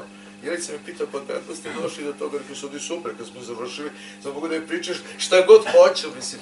A u stvari, kada smo, kada smo dobili, dobili tu neku gomilu priča i pesama, onda smo, Marijana i ja, seli da razmišljamo, čekaj, pa jeste ljubav prema majci, to mi čovjek lepo piše, pa šta je ljubav prema domovini, neka rodoljubiva pesma, mislim, pa jeste, vi ste upravo. A i sad ti tog čovjeka ubedi da to nije u naše... I onda kažu lepo, jasno, jasno su nas ljudi naučili kako od sada se vladava. To i moramo da predvidimo sve do posljednje tačke. Nema, nema ono ali ili ili. Znači, mora da se jasno kaže, ljubav prema osobi, Ja drugoj osobi. za sve Da, li isto, bili su Ja sam, ja sam za potpuno više. Pa i apsolutno, ali Samo ne znam da si objavio sve ovo kakve bi kritike bile.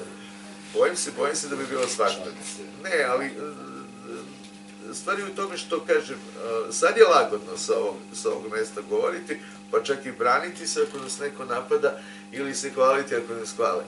Ali ovaj, tog momenta nije baš bilo ovaj, sve jedno. Naprosto ljudi, ljudi su ljudi, on, mislim, on je poslao poemu o majci. Mislim, okej, pa malo se da prešli broj. poduhvat treba da vam bude ovako, a stavite razmišljam, sad nešto razmišljam, ovaj, znam šta ona radi, pa se sjetim Kišona, Kišonovih nekih priča koje su potpuno ovaj, genijalne, duhovite, smešne, koje apsolutno sistem razaraju iznutra, jevrijsko društvo, ono vremena, mislim sve, tako dalje. Što napravite zbornik ovaj, Satiričnih priča. sa? Da, da, zbornik sa- Jesi ti rekao? već je bilo. Nije, ali zbornik satiričnih priča, ljudi To to je ne jedno znaju gde, bilo. gde dobijaju. E, onda da vidimo kakve će reakcije vlasti. Dobro, ovaj... Da vidimo ko će da bude uhapšen, ko je kome šta rekao i zašto je rekao. Zbog ljubavi neće još da, da, da hapse. A dobro, ali mi smo molili da otvorimo vrata, mislim, da pazarimo ključ, u stvari. Od čega? Od ludnice, od prilike, da. Ne, ne, ne. Ove priče koje nisu ušle, to smo sad dotakli neke tri, četiri teme. Prijavljeno je koliko? Preko 1200 1200 radova, nekih 30% ni, nisu objavljeni i to sad, pošto smo pomenuli to da budemo do kraja jasni i transparentni, ovih 30% koje prosto nisu zadovoljili književno umetničko, umetničke kriterijume, a ne temu. Znači, niko nije oštećen zato što je shvatio ljubav u ili onako. Sjajan je Boško predlog o satiričnoj prozi, pa sad kako će, ne, ne radimo ništa zbog reakcije, pošto Evo i ja ću ovo da počnem jednu priču odmah. E, Evo ja. Biće, Evo, mi ćemo- biće mi zadovoljstvo se da, da, da vidim to, a i da radim na tome. Ovaj, a nikad nismo radili zbog nečije reakcije. Kako će da bude. Šta ćemo sa medijima? E, to imam ja nešto. Evo ideja. Ne, imam ideju. Ne, oko čega? E, Boško je pomenuo da, da u suštini novac ovde, e, ono, otprilike zna da motiviše novinara da, da objavi pojedini novinare, pojedine novinare zna da motiviše da objavi. Ja ću sad uzeti jedan predmet koji se nalazi u onom delu prostorije, a vi ćete da se mašite za svoje džepove i da date prilog da potkupimo novinare za buduću knjigu. A to. Nije, A ne, to je vidim, Ja to to ne, vidim. ne, Ne. Ali to je mito, ne, to, je mito i korupcija i to je mito, korupcija I to je kažnjivo. navođenje na mito. navođenje Tako i na navođenje, To i to je pokušamo da pohapse.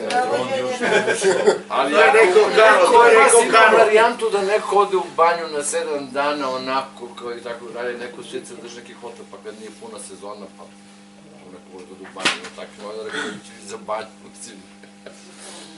Šalim se, ovaj, ali je činjenica da smo se danas pretvorili u jednu potpuno ovaj, nekritičnu medijsku medijski nekritičnu zemlju, to je potpuno strašno. Kad su novinari vodili ređešku politiku. E, bravo, bravo. Da. E, a sada ovako, vidi, pitanje pristajanje. Pitanje pristajanje. Ja sam otišao za, iz- znači intervju je bio jedan od magazina koji su harali onom velikom Jugoslavijom. Bio, bio je start, bila je duga i bio je intervju. I nije standardno sa svojim. Znači ja sam punio svojim tekstom, niste ratišli odavde političkim komentarima, gotovo pola novina. Jer kada je krenulo u 90. godine onaj haos, niko nije imao kesu da sedne i da ode i u Hercegovinu i Hrvatsku i u Dubnik i svuda. bio sam i i politički komentara sam pisao svašta. Onog časa, e, kada su Karići preko Tijanića od Žike Minovića kupili novine koje se zove intervju za 10.000 maraka, usranih, su kupili Karići, ceo bre brend su kupili za 10.000 maraka. Brend koji tad imao 72.000 tiraž i zvanično smo bili neprofitabilni. Ja sam tog časa, ovako zaključio sve je rekao, ja više neću da napišem ni slovo za srpske novine. Tog časa sam prestao da pišem za novine, ja sam prestao da budem novinar. Otišao sam 93. godine kad su svi bežali bilo kako privatno biznisa i rekao, dobar dan, koliko košta da otvorim svoju privatnu firmu. Tog časa sam rešio da se bavim da budem svoj gazda. I rekao sam, ja neću da pristanem na to. Tako da i novinari pristaju Da, na to to da. i nemoj se da pričamo samo o urednicima. Urednici samo manipulišu sa onima koji pristaju da budu mani- manipulisani. A da ne pričamo o tome koliko je obrazovanih novinara danas, a koliko raznih e, e, mladića, devojka, devojčica i svega sa pola To si ti fakulteta. onda kad si napustio novinarstvo i otišao u privatnike. Tačno. Pa takvi su otišli, izvini. Pa, ja, ja nisam teo da pristanem na kompromis, se razumeš? Ne, nema kompromisa. Nema kompromisa da mi neko otkine pa pola teksta da, da mi su dopiše. doći one s duge noge i kratke suknje. Pa neka, evo sada tu... Ne, to nije njegova Ne, stvar. to- To je stvar onoga ko je pustio da dođu oni. Nije on pravio kriterij. Znamo se Boško i ja i znamo Ne, se ne, Boško. ja samo znamo, kažem, ali to nije to, Ja sam nažalost. samo tog časa sam rekao, ja više Ti neću to da radim. duge noge i kratku suknju. Pa mogu da obučuju, to sam ne znam na što bi ličila. Ali ima kratku pamet. Tek onda Ne što bi ličila. E, Ne, ali ozbiljno. Znači, i ti danas odlaziš na konferenciju za štampu i nekad odem tako i odem tamo ljude koji, uh, ovi koji apsolutno nemaju pojma ko je tu i zašto je tu i o čemu priča. On je tu da, da prenese šta je neko rekao. I onda prenese najveću glupost. Ja E, najviše volim, izvini molim te. Najnoviji domet novinarstva. Da dobiju pitanje šta? Kako bre pitanje glasi, hoćete nam dati izjavu? Hoćete nam dati izjavu. Izjavu. Pa šta Šta je izjava? Još pitanje imaš nešto. no. Daj nekima nešto. Ne, ali to je mnogo, to je lakše, znaš, on da izjavu i ti nemaš odgovornost. Pa, o tome ti pričam, Pa, ja znam šta ti pričaš. E, Evo vam klasičan primer, evo, zbog čega su mi pretili, evo skoro da će da mu opsi ponovno su mi pretili, evo skoro pred novu godinu. Ali ima neko ko radi u Ja uopšte ovde. ne poznajem, ne znam ko je čovjek koji sedi pored mene. Ne, ne, ozbiljno, evo sada, da ne, uopšte se ne znam, evo, ili vi znate da je Miroslavljevo Evanđelje fotovinsko izdanje bila jedina zabranjena knjiga za vreme Slobodana Miloševića u Srbiji? Znači ono fotinsko izdanje koje smo Veljko Topalović, Brkić, Dule Mrđanović, ja sam malo saučestvovao u svemu tome, ta knjiga je štampana u Južnoafričkoj republici zato što je Nada Popović Perišić zabravila knjigu u štampanje knjige ovde, znači zabranjena knjiga. Kako je došlo do, do legalizacije te knjige potpuno je druga priča. Ove, e, godinama, od kad je ta knjiga legalizovana, ja sam posle radio i film i TV serijal i svašta o svemu tome, A što je bilo sa onim što smo mi išli da gledamo lažnu knjigu? E, evo sad, doćemo i do toga, doćemo i do toga. Vi ste gledali lažnu knjigu u hramu Svetog Save. To nije, to nije lažna knjiga, to je fotipsko izdanje, to je knjiga koju smo predstavili kao fotipsko izdanje koja je bila zabranjena. E, isti ljudi koji su zabranili to fotipsko izdanje, isti ljudi, znači to je ista ekipa bila, upravnik Narodne biblioteke, čista ekipa iz Ministarstva kulture, isti ljudi, isti oni birokračici, isti. Oni su isti stavili tu knjigu, nekada zabranjenu, stavili onu nakaznu uh, kupolu koja izgleda kao klima komora, ono nakazno, i, i stavili su neka dva magarca koje stode pored onoga, mi došli još da snimamo posljednje kadrove serijale, ja oduševljen pričom, snimit ćemo nešto pored originala. I montažer koji monta, montirao film i serijal kaže, gled ono kaže, ali ste vi dobro radili ovaj fotilsko izdanje i ja sad rekao, kako to misliš, kaže, kako što? Kaže, pa izgleda isto kao original. I onda se Veljko Topalović i ja pogledamo i pogledamo ono i samo se uvatimo za glavu i shvatimo šta su radili. Jer original ima dve kopče, fotilsko izdanje ima četiri, na primjer. I mi smo odmah videli šta su radili i onda smo izašli napolje. Ovdje smo seli na stepnice hrama Svetog Save, držimo Samsonet kofer u kome ta fotovinsko izdanje putovalo svuda gde smo radili ovaj serijal, putovali smo u 12 ili 13 zemalja, hvatili se za glavu i rekli šta sad radimo. Znači, da li ti onoj masi od hiljade ljudi, 300.000 ljudi je, je prošlo tuda. Tri dana i tri noći su ljudi prolazili, klanjali se, ostavljali novac nad pozitivskim izdanjem, nad lažnom i zabranjenom knjigom nekada. I niko tim ljudima nije rekao, danas, ni dan danas se država nije izvinila. nikome zbog toga. Zvanično, izvinite, svi vi koji ste tamo čekali to da da vidite, izvinite što ste izgubili vreme, nervi i tako dalje. E, mi u takvoj državi živimo. A htio sam drugo da kažem, izjavu dao gospodin Tasovac, ministar kulture. Izjava glasi ovako, kurir je prenosi, posle čujem isto to na 200 dvojice. Znači, on je dao izjavu ver, verovatno malo zbunjen, a neko to se nije potrudio da priupita zato što ne zna. I prilikom otvaranja radova na zgradi Narodnog muzeja ovaj, novih i tako dalje, on kaže da se svašta sad tu sprema i tako dalje, a između ostalog se rade na tome da se vrati Petrograd, eh, da se vrati list iz ove vrednije knjige iz Evanđelja, najvrednije srpske knjige iz 12. veka. Kao da mi sad imamo vredne knjige i u 6. veku, i u 13. i u 14. Ne, mi imamo jednu jedinu, pazi, potpuno kre- kretenska izgleda, najvrednije srpska knjiga iz 12. veka. A šta je s 13. 15. Novinar to tako prenese. Koju je, I radi se na tome da se vrati list koji je ukrao profesor Ruseski pre 150 godina. I ja se potpuno šlogiram kad to vidim, zato što prvo nije profesor Ruseski, nego je Porfirij Uspenski.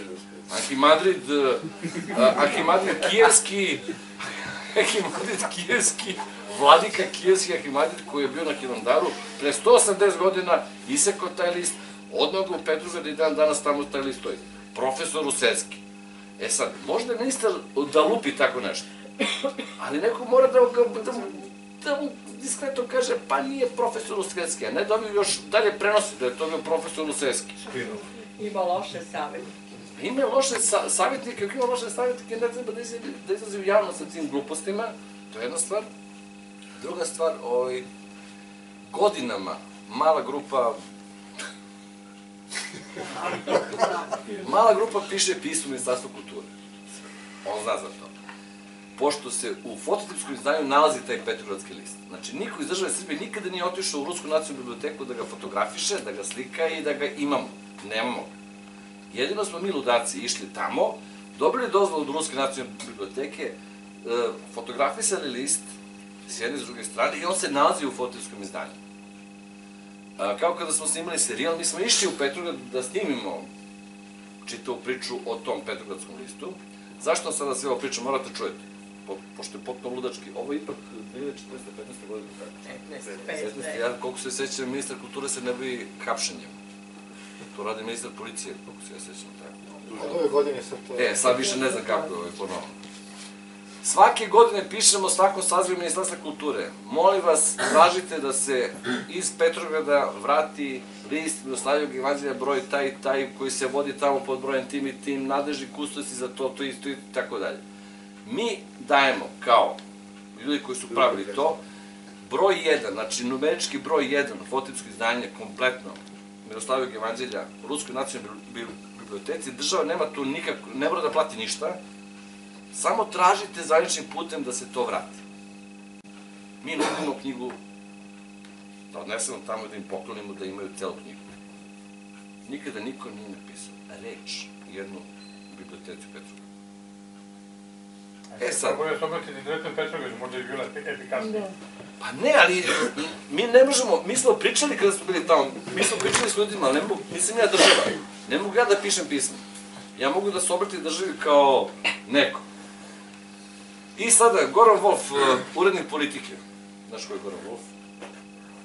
Dije Smajlović je on glavni odbor i tako dalje, a Goran Wolf je neko ko pravi novine. Sad zove mene, kaže, e vidi, kaže, šta je ta se rekao ovo, ono, kaže, daj da krenemo sad u januaru da, da objavljujemo vinjete iz Evanđelja, sad je prava prilika da mi sad, ono, potegnemo čitavu priču da nam se vrati taj list.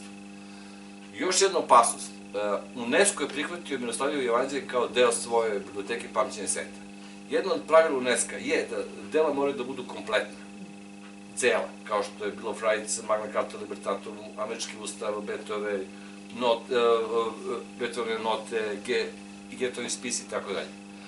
Miroslavljevo Evanđelju fali taj jedan list. Mi smo prevrli UNESCO. Evo, sad vam kažem onako, mi smo prevrli UNESCO, zato što se u fotografskom izdanju koji mi je pokazalo nalazi taj petrogradski list. I posle smo rekli da igru slučaja je to tamo, ali to je evo na putu samo što nije stiglo. Mi smo računili da će država da kaže da se to vrati. E, država još to nije uradila i vrlo je verovatno da u narednom nekom periodu može se desiti da nam oduzmu status toga, gde, o čemu ovde niko ne misli. I sada mi hoćemo da napravimo čitav frku u javnosti, da se objavi, ovo, dobijemo te te vinjete, držne da ovo, onda pričamo priču o evanđelju, znači sad januar kad svi praznici, ovo ono, i dođemo na ideju, pošto niko nikada nije slikao taj Petrogradski list i ne zna kako izgleda, da ili za Svetog Savu ili za dan politike 24. januara na 111 godina politike, ovaj, e, kao poklon čitocima objavimo fot, uh, Petrogradski list. Ljudi stvari znaju kako to izgleda i šta je na njemu. I Goran Vol pošalje e-mail ministru oduševljen idejom što će dobiti od nas pravo da to da džave, pošto bi pare da plate da objave. Ilija Slavić znači ovo sada pričam priču koja jeste, ono, ko, pošto je kupio, toliko je prodao. Ilija Slavić uleće kod Gorana Wolfa i kaže, ti normalan Nove je pretio da će da pohapsi i tebe i sve one ludake oko tebe. I kaže, ako to uradite, kaže, svi, svi, ćete biti uopšteni. Op. I šta sad? 2015. godina. To se sve dešava, na primjer, 28. decembra, evo, sad smo bili opet. Ponudite blicu. Rešeno. Nije stvar da, vidi ovako, e, politika je, politika je institucija, kako, šta, šta, šta god ti misli, to je politika institucija. I mi možemo da imamo pračite više o tome, ali politika je ipak institucija, to je jedna stvar. Druga stvar, e, Blicu to ili bilo koje, nije to to. E, I mi smo probali samo da napravimo jednu zajedničku priču. Ministarstvo kulture i da mi sedemo i politika i da vidimo šta od toga da napravimo pametno. Kako, kako od toga napravimo priču kulturološku priču o Srbiji, da, da, i dobili smo pretnju kapšenja. Op. Tako da ako ono, čujete da sam negde vidio nešto, nešto duvana... Ako me nema neko vreme... Ako me nema neko vreme, znači da ovaj, svira, svira u... Ovaj, ćemo jednu kratku pauzu sa autorom zbornika. Jovan Bajić. Jovan Bajić. Bajić. Bajić.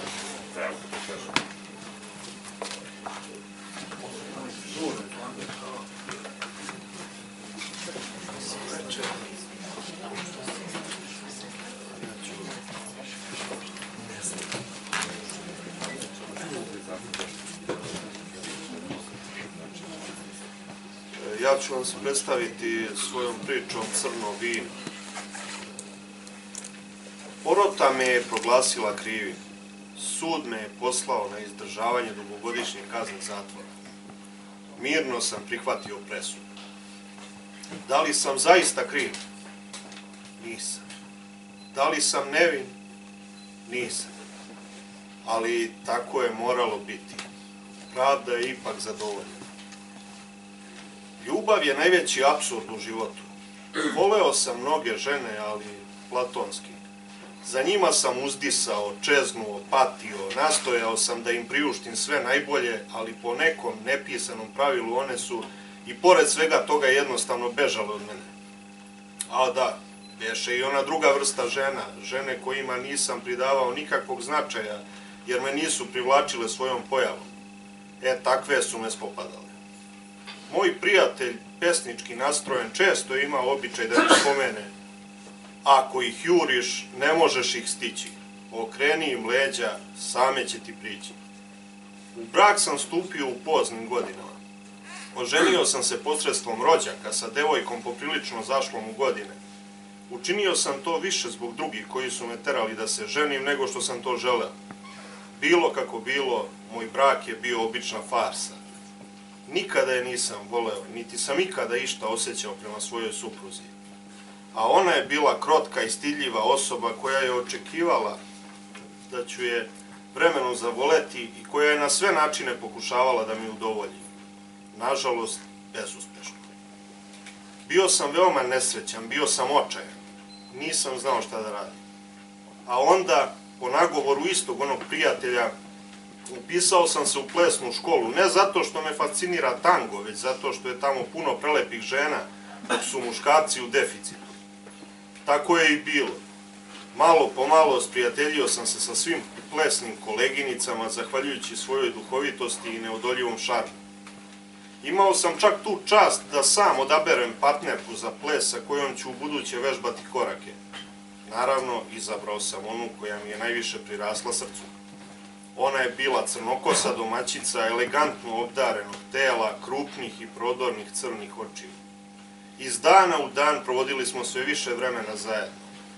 Uvežbavali smo zajedničke korake, i uvežbavali, i uvežbavali. Bilo je i suviše očigledno da nas dvoje nećemo biti samo partneri u plesu. Izvodio sam je na najprestižnija mesta želeći da joj pružim sve ono što joj imućni suprug nikada nije pružao. Ona je i pored materijalne i finansijske situiranosti pobegla od bračne učmalosti u svet vrhunske umetnosti. Sjedinili smo se maestralnom igrom, tajnim romantičnim izlascima, dugim ljubavnim šaputanjima. Postali smo intimni. Sa njom sam proživljavao sve ono o čemu sam samo maštao. Korak po korak osvajali smo najprestižnije nagrade na festivalima koje nam je donosio tango. Volela je da nazdravlja našoj ljubavi čašom crnog vina. Voleo sam i ja da nazdravljam istim pićem njenoj crnoj kosi i krupnim crnim očima. Ali zli jezici su neumorno palacali. Ljubomorna konkurencija nas je olajavala, nedobronamerne osobe širile su o nama svakakve priče. Bez obzira na to što smo svoju vezu danonoćno krili od javnosti, nešto je svakako našlo pukotinu da procuri. Tako je izgleda moralo biti. Potpuno zapostavivši svoju suprugu, jedne večeri zaputio sam se kao i obično ka napuštenoj vikendici svoje ljubavnice, što beše naše tajno skrovište. Neosvetljena kuća izgledala je potpuno sablasno. Tiho sam se ušunjao unutra, pazeći da me niko ne vidi. Astal u trpezariji bio je postavljen, na njemu su gorele sveće. Kraj tanjira stajaše dve čaše, jedna manje, a druga više ispunjena crnim vinom. Sve beše tu, osim moje voljene. Tražio sam je pogledom, dozivajući je šapatom, ali nje nije bilo. Seo sam za sto i prineo ustima onu puniju čašu, očigledno meni namenjenu. Liznuvši vino, osetio sam slab miris gorkih badema. Cijanid, pomislio sam. Ispustio sam čašu koja udari o sto i razbi se. Vino pljusnu po mojoj beloj košulji, ostavivši fleke. Ispritiskao sam sve svetlosne prekidače po prostorijama i glasno dozivao svoju ljubavnicu. Ubrzo sam je našao. Njeno beživotno telo ležalo je iza kauča na putu ka kupatilu. Zvuk policijskih sirena parao je noćnu tišinu. Opkolivši vikendicu, policajci izvršiše upad i uhapsiše me. Optužiše me za ubistvo. Imam dovoljno vremena da iza rešetaka razmišljam o svemu, o svojoj zanemarenoj supruzi, o prevelikoj ljubavi sa tuđom ženom, o zlobnicima koji ogovaraju druge, o gnevnom, prevarenom mužu koji sipa otrov u omiljeno piće svoje žene i prijavljuje provalnika u svojoj vikendici u odgovarajućem trenutku, kao i o surovoj realnosti i opijajućoj imaginaciji ovog nepodnošljivog života. Porota me je proglasila krivim. Sud me je poslao na izdržavanje dugogodišnje kazne zatvora. Mirno sam prihvatio presudu. Da li sam zaista kriv? Nisam. Da li sam nevin? Nisam. Ali tako je moralo biti. Pravda je ipak zadovoljena. U to ime nazdravimo čašom crnog vina. Bi bilo to. Ljubav ubija.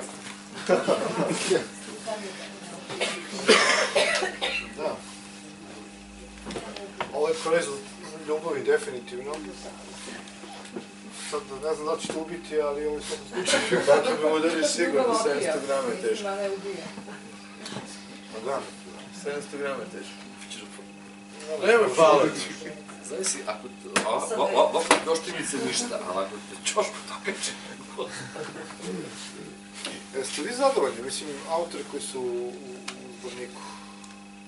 Jel, jel posmatrate, jel imate, ste imali želju da, da bacite pogled ne samo na, na vašu priču, odnosno da pogledate vaše ime, da budete zadovoljni s tom činjenicom?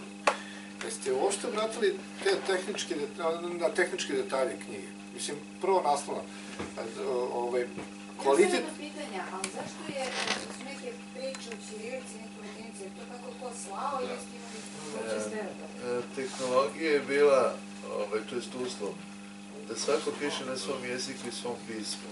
Znači, po izboru autora. Pošto je čitav red.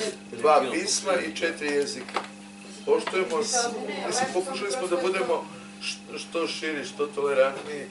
Znači, nikom, zašto bi prevodili, ne znam, na srpski, hrvatski ili bosanski ili crnogorski, na srpski, su srodni jezici, tako da... E, to je jedan od kvaliteta govornika, u kome će tek biti reči. Naravno. Me- Moje očekivanja su možda bila nerealne. Ja sam prosto negdje iz zadnje posebno očekivala da će ljudi prvo primetiti to i da će pohvaliti. Jer godinama nešto živimo u nekim lažima da se međusobno, dobro, sad je to malo nebitno da li se mrzimo ili se volimo, ali nemamo ni jedan ni kulturni, ni kulturolo, ku- kulturološki proizvod, a imamo karakteristike I onda se desi nešto ovako, znači dokaz da možemo, da postoje ljudi koji žele, jer imamo, ili smo imali neke zajedničke kulturne i kulturološke karakteristike, a no, prosto to ljudi ne primete, ne pohvale i to, to bi trebali da budemo svi ponosni na to, a primećuju neke druge stvari ili ne primećuju. Dobro, mi smo, uh, Marina očigledno nije rekla, ja ću da kažem glasno. Optuženi smo da smo radili knjigu za Hrvatsku kulturnu baštinu.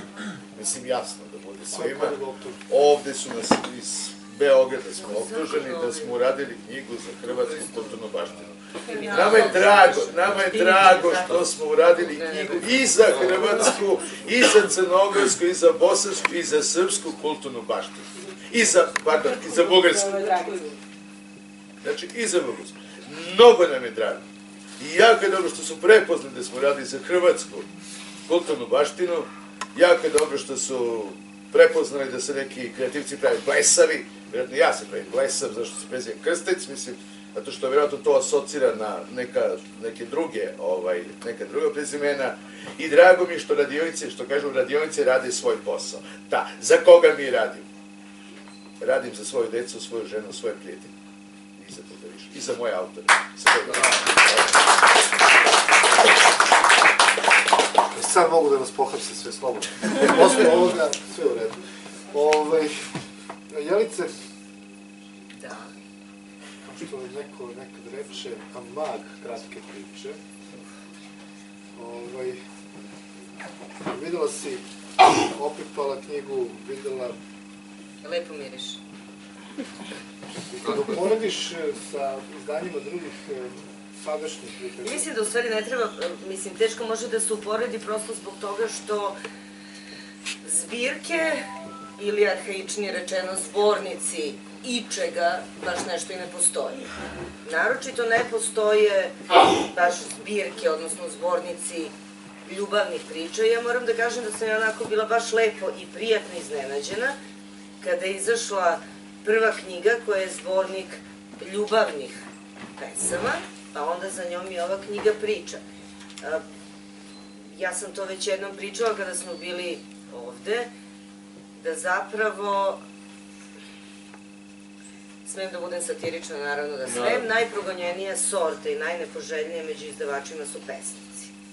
Njih fakat ima tu što i tma. Ali do te mere zatvorena vrata izdavača za pesnike i za poeziju, zaista, nežno rečeno, nije lepo. Dakle, mislim da jedina par pretpostavki onako da, da objavi knjigu neki pesnik je prva je da onako odleži jedno deset godina ne u zatvoru, nego u horizontali i da tek onda možda ipak se neko smiluje. Dakle, samo entuzijasti, govorimo izdavačima, vrlo entuzijastički raspoloženi izdavači objavljuju zbirke pesama jednog autora.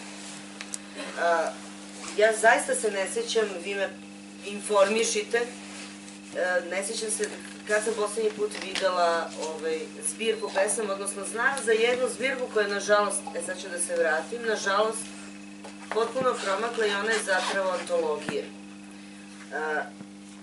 Tužne sudbine, a to je antologija, poslednja knjiga koju je napravio Vujica Rešin Tucić. Ta knjiga je izdata, ta knjiga je izdata pre jedno recimo dve godine, to je poslednje što je Vujica napravio. e, to je antologija pesama o postanju. Jer je zapravo Vujičino najveće životno pitanje bilo ima li života pre smrti. To su pesme o postanju. I ta knjiga je izdata u potpuno privatnom aranžmanu nakon Vujičine smrti.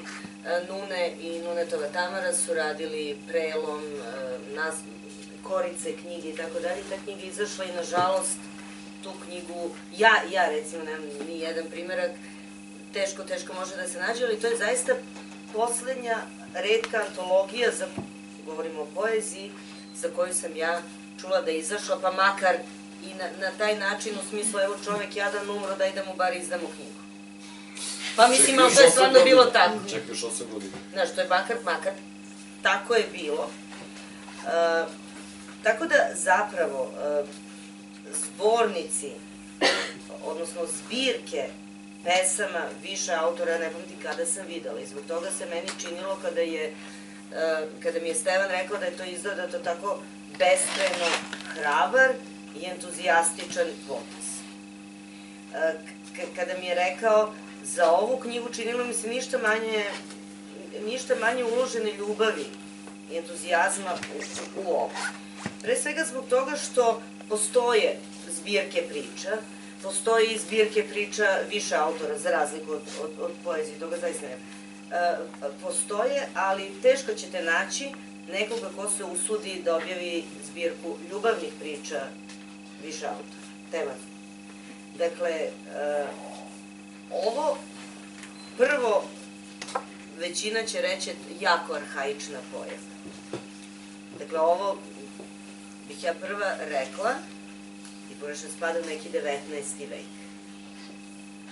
I to je ono što, što je zapravo žalostno i to je ono što pokazuje do koje mere bio Stevan hrabar kada je ušao u ovu priču.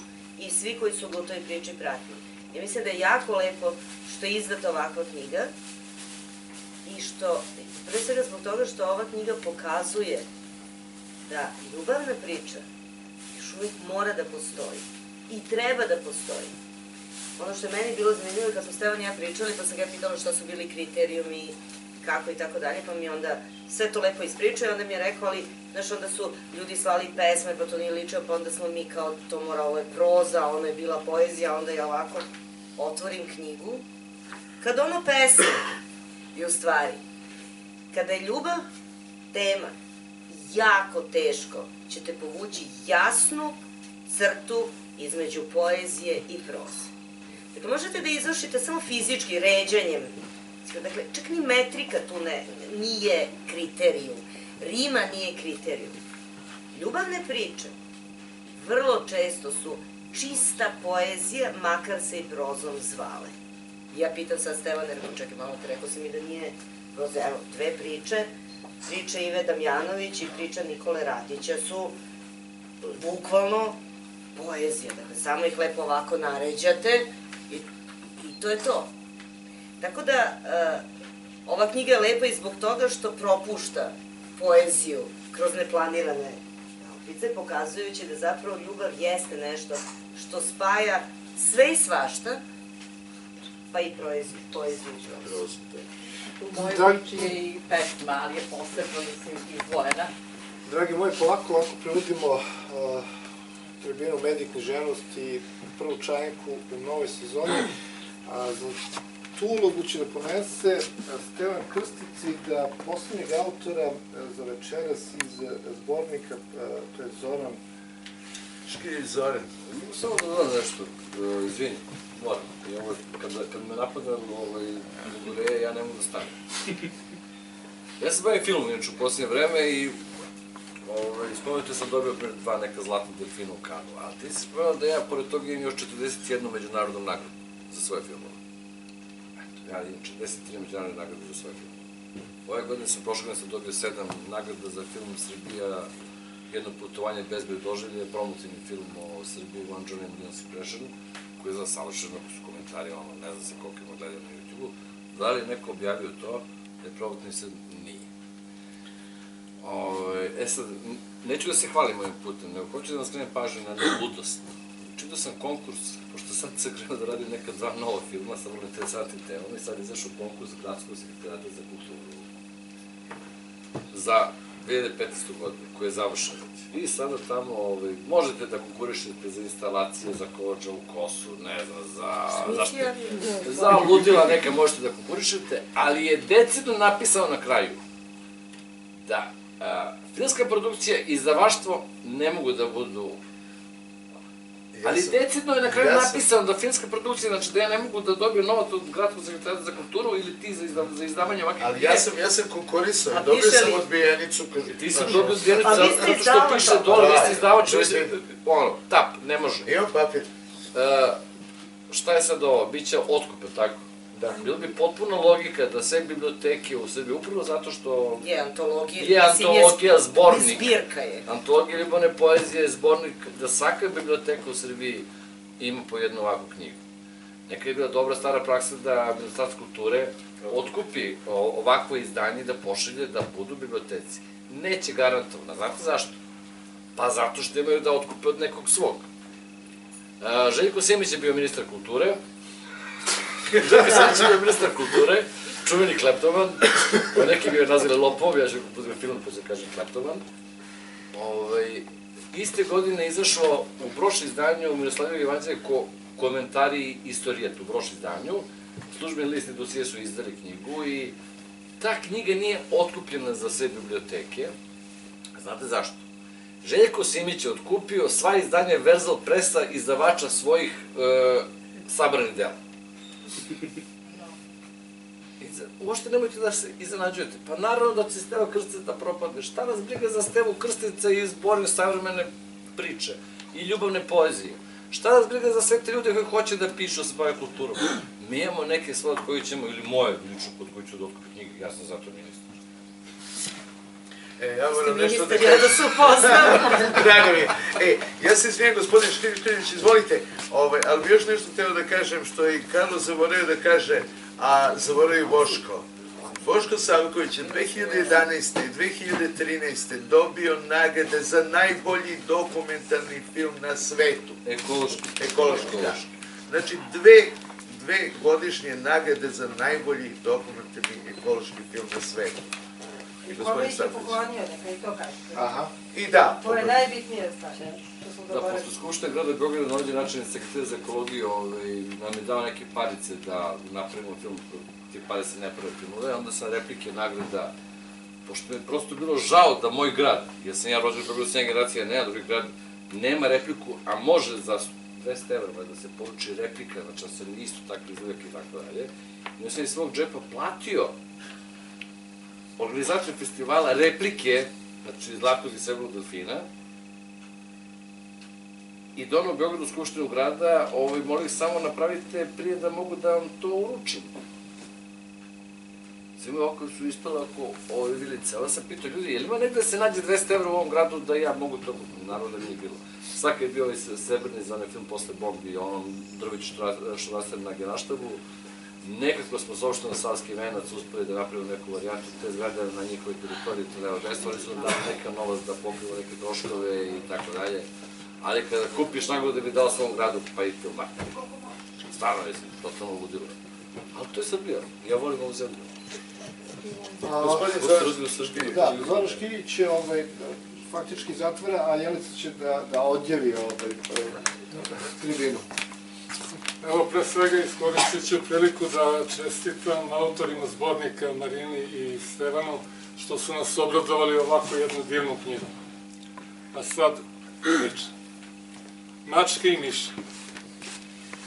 Nije trebalo to da mi kažeš. Razočarao si me. Šta to nije trebalo da ti kažem? Ne znam na šta misliš. Znaš ti dobro, nemoj da se praviš da ne znaš. Ne znam zaista, ne znam na šta misliš. Znaš, znaš, nisi moran. Nisam naravno, pa opet ne znam. E pa jesi moran, nego šta si. Samo moran može tako nešto da lupi, a da ostane živ. A šta sam to ja, Moliću, lepo lupio, a ostao živ? Kako šta? Pa ono što ni moran ne bi rekao.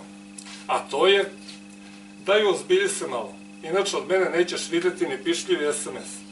Ozbiljan sam. Nikad ozbiljniji nisam bio. Pa kad si ozbiljan, odnosno kad kažeš da si ozbiljan, kako onda ne znaš šta si lupio, a lupio si malo čas, što vam kažu, za sve pare?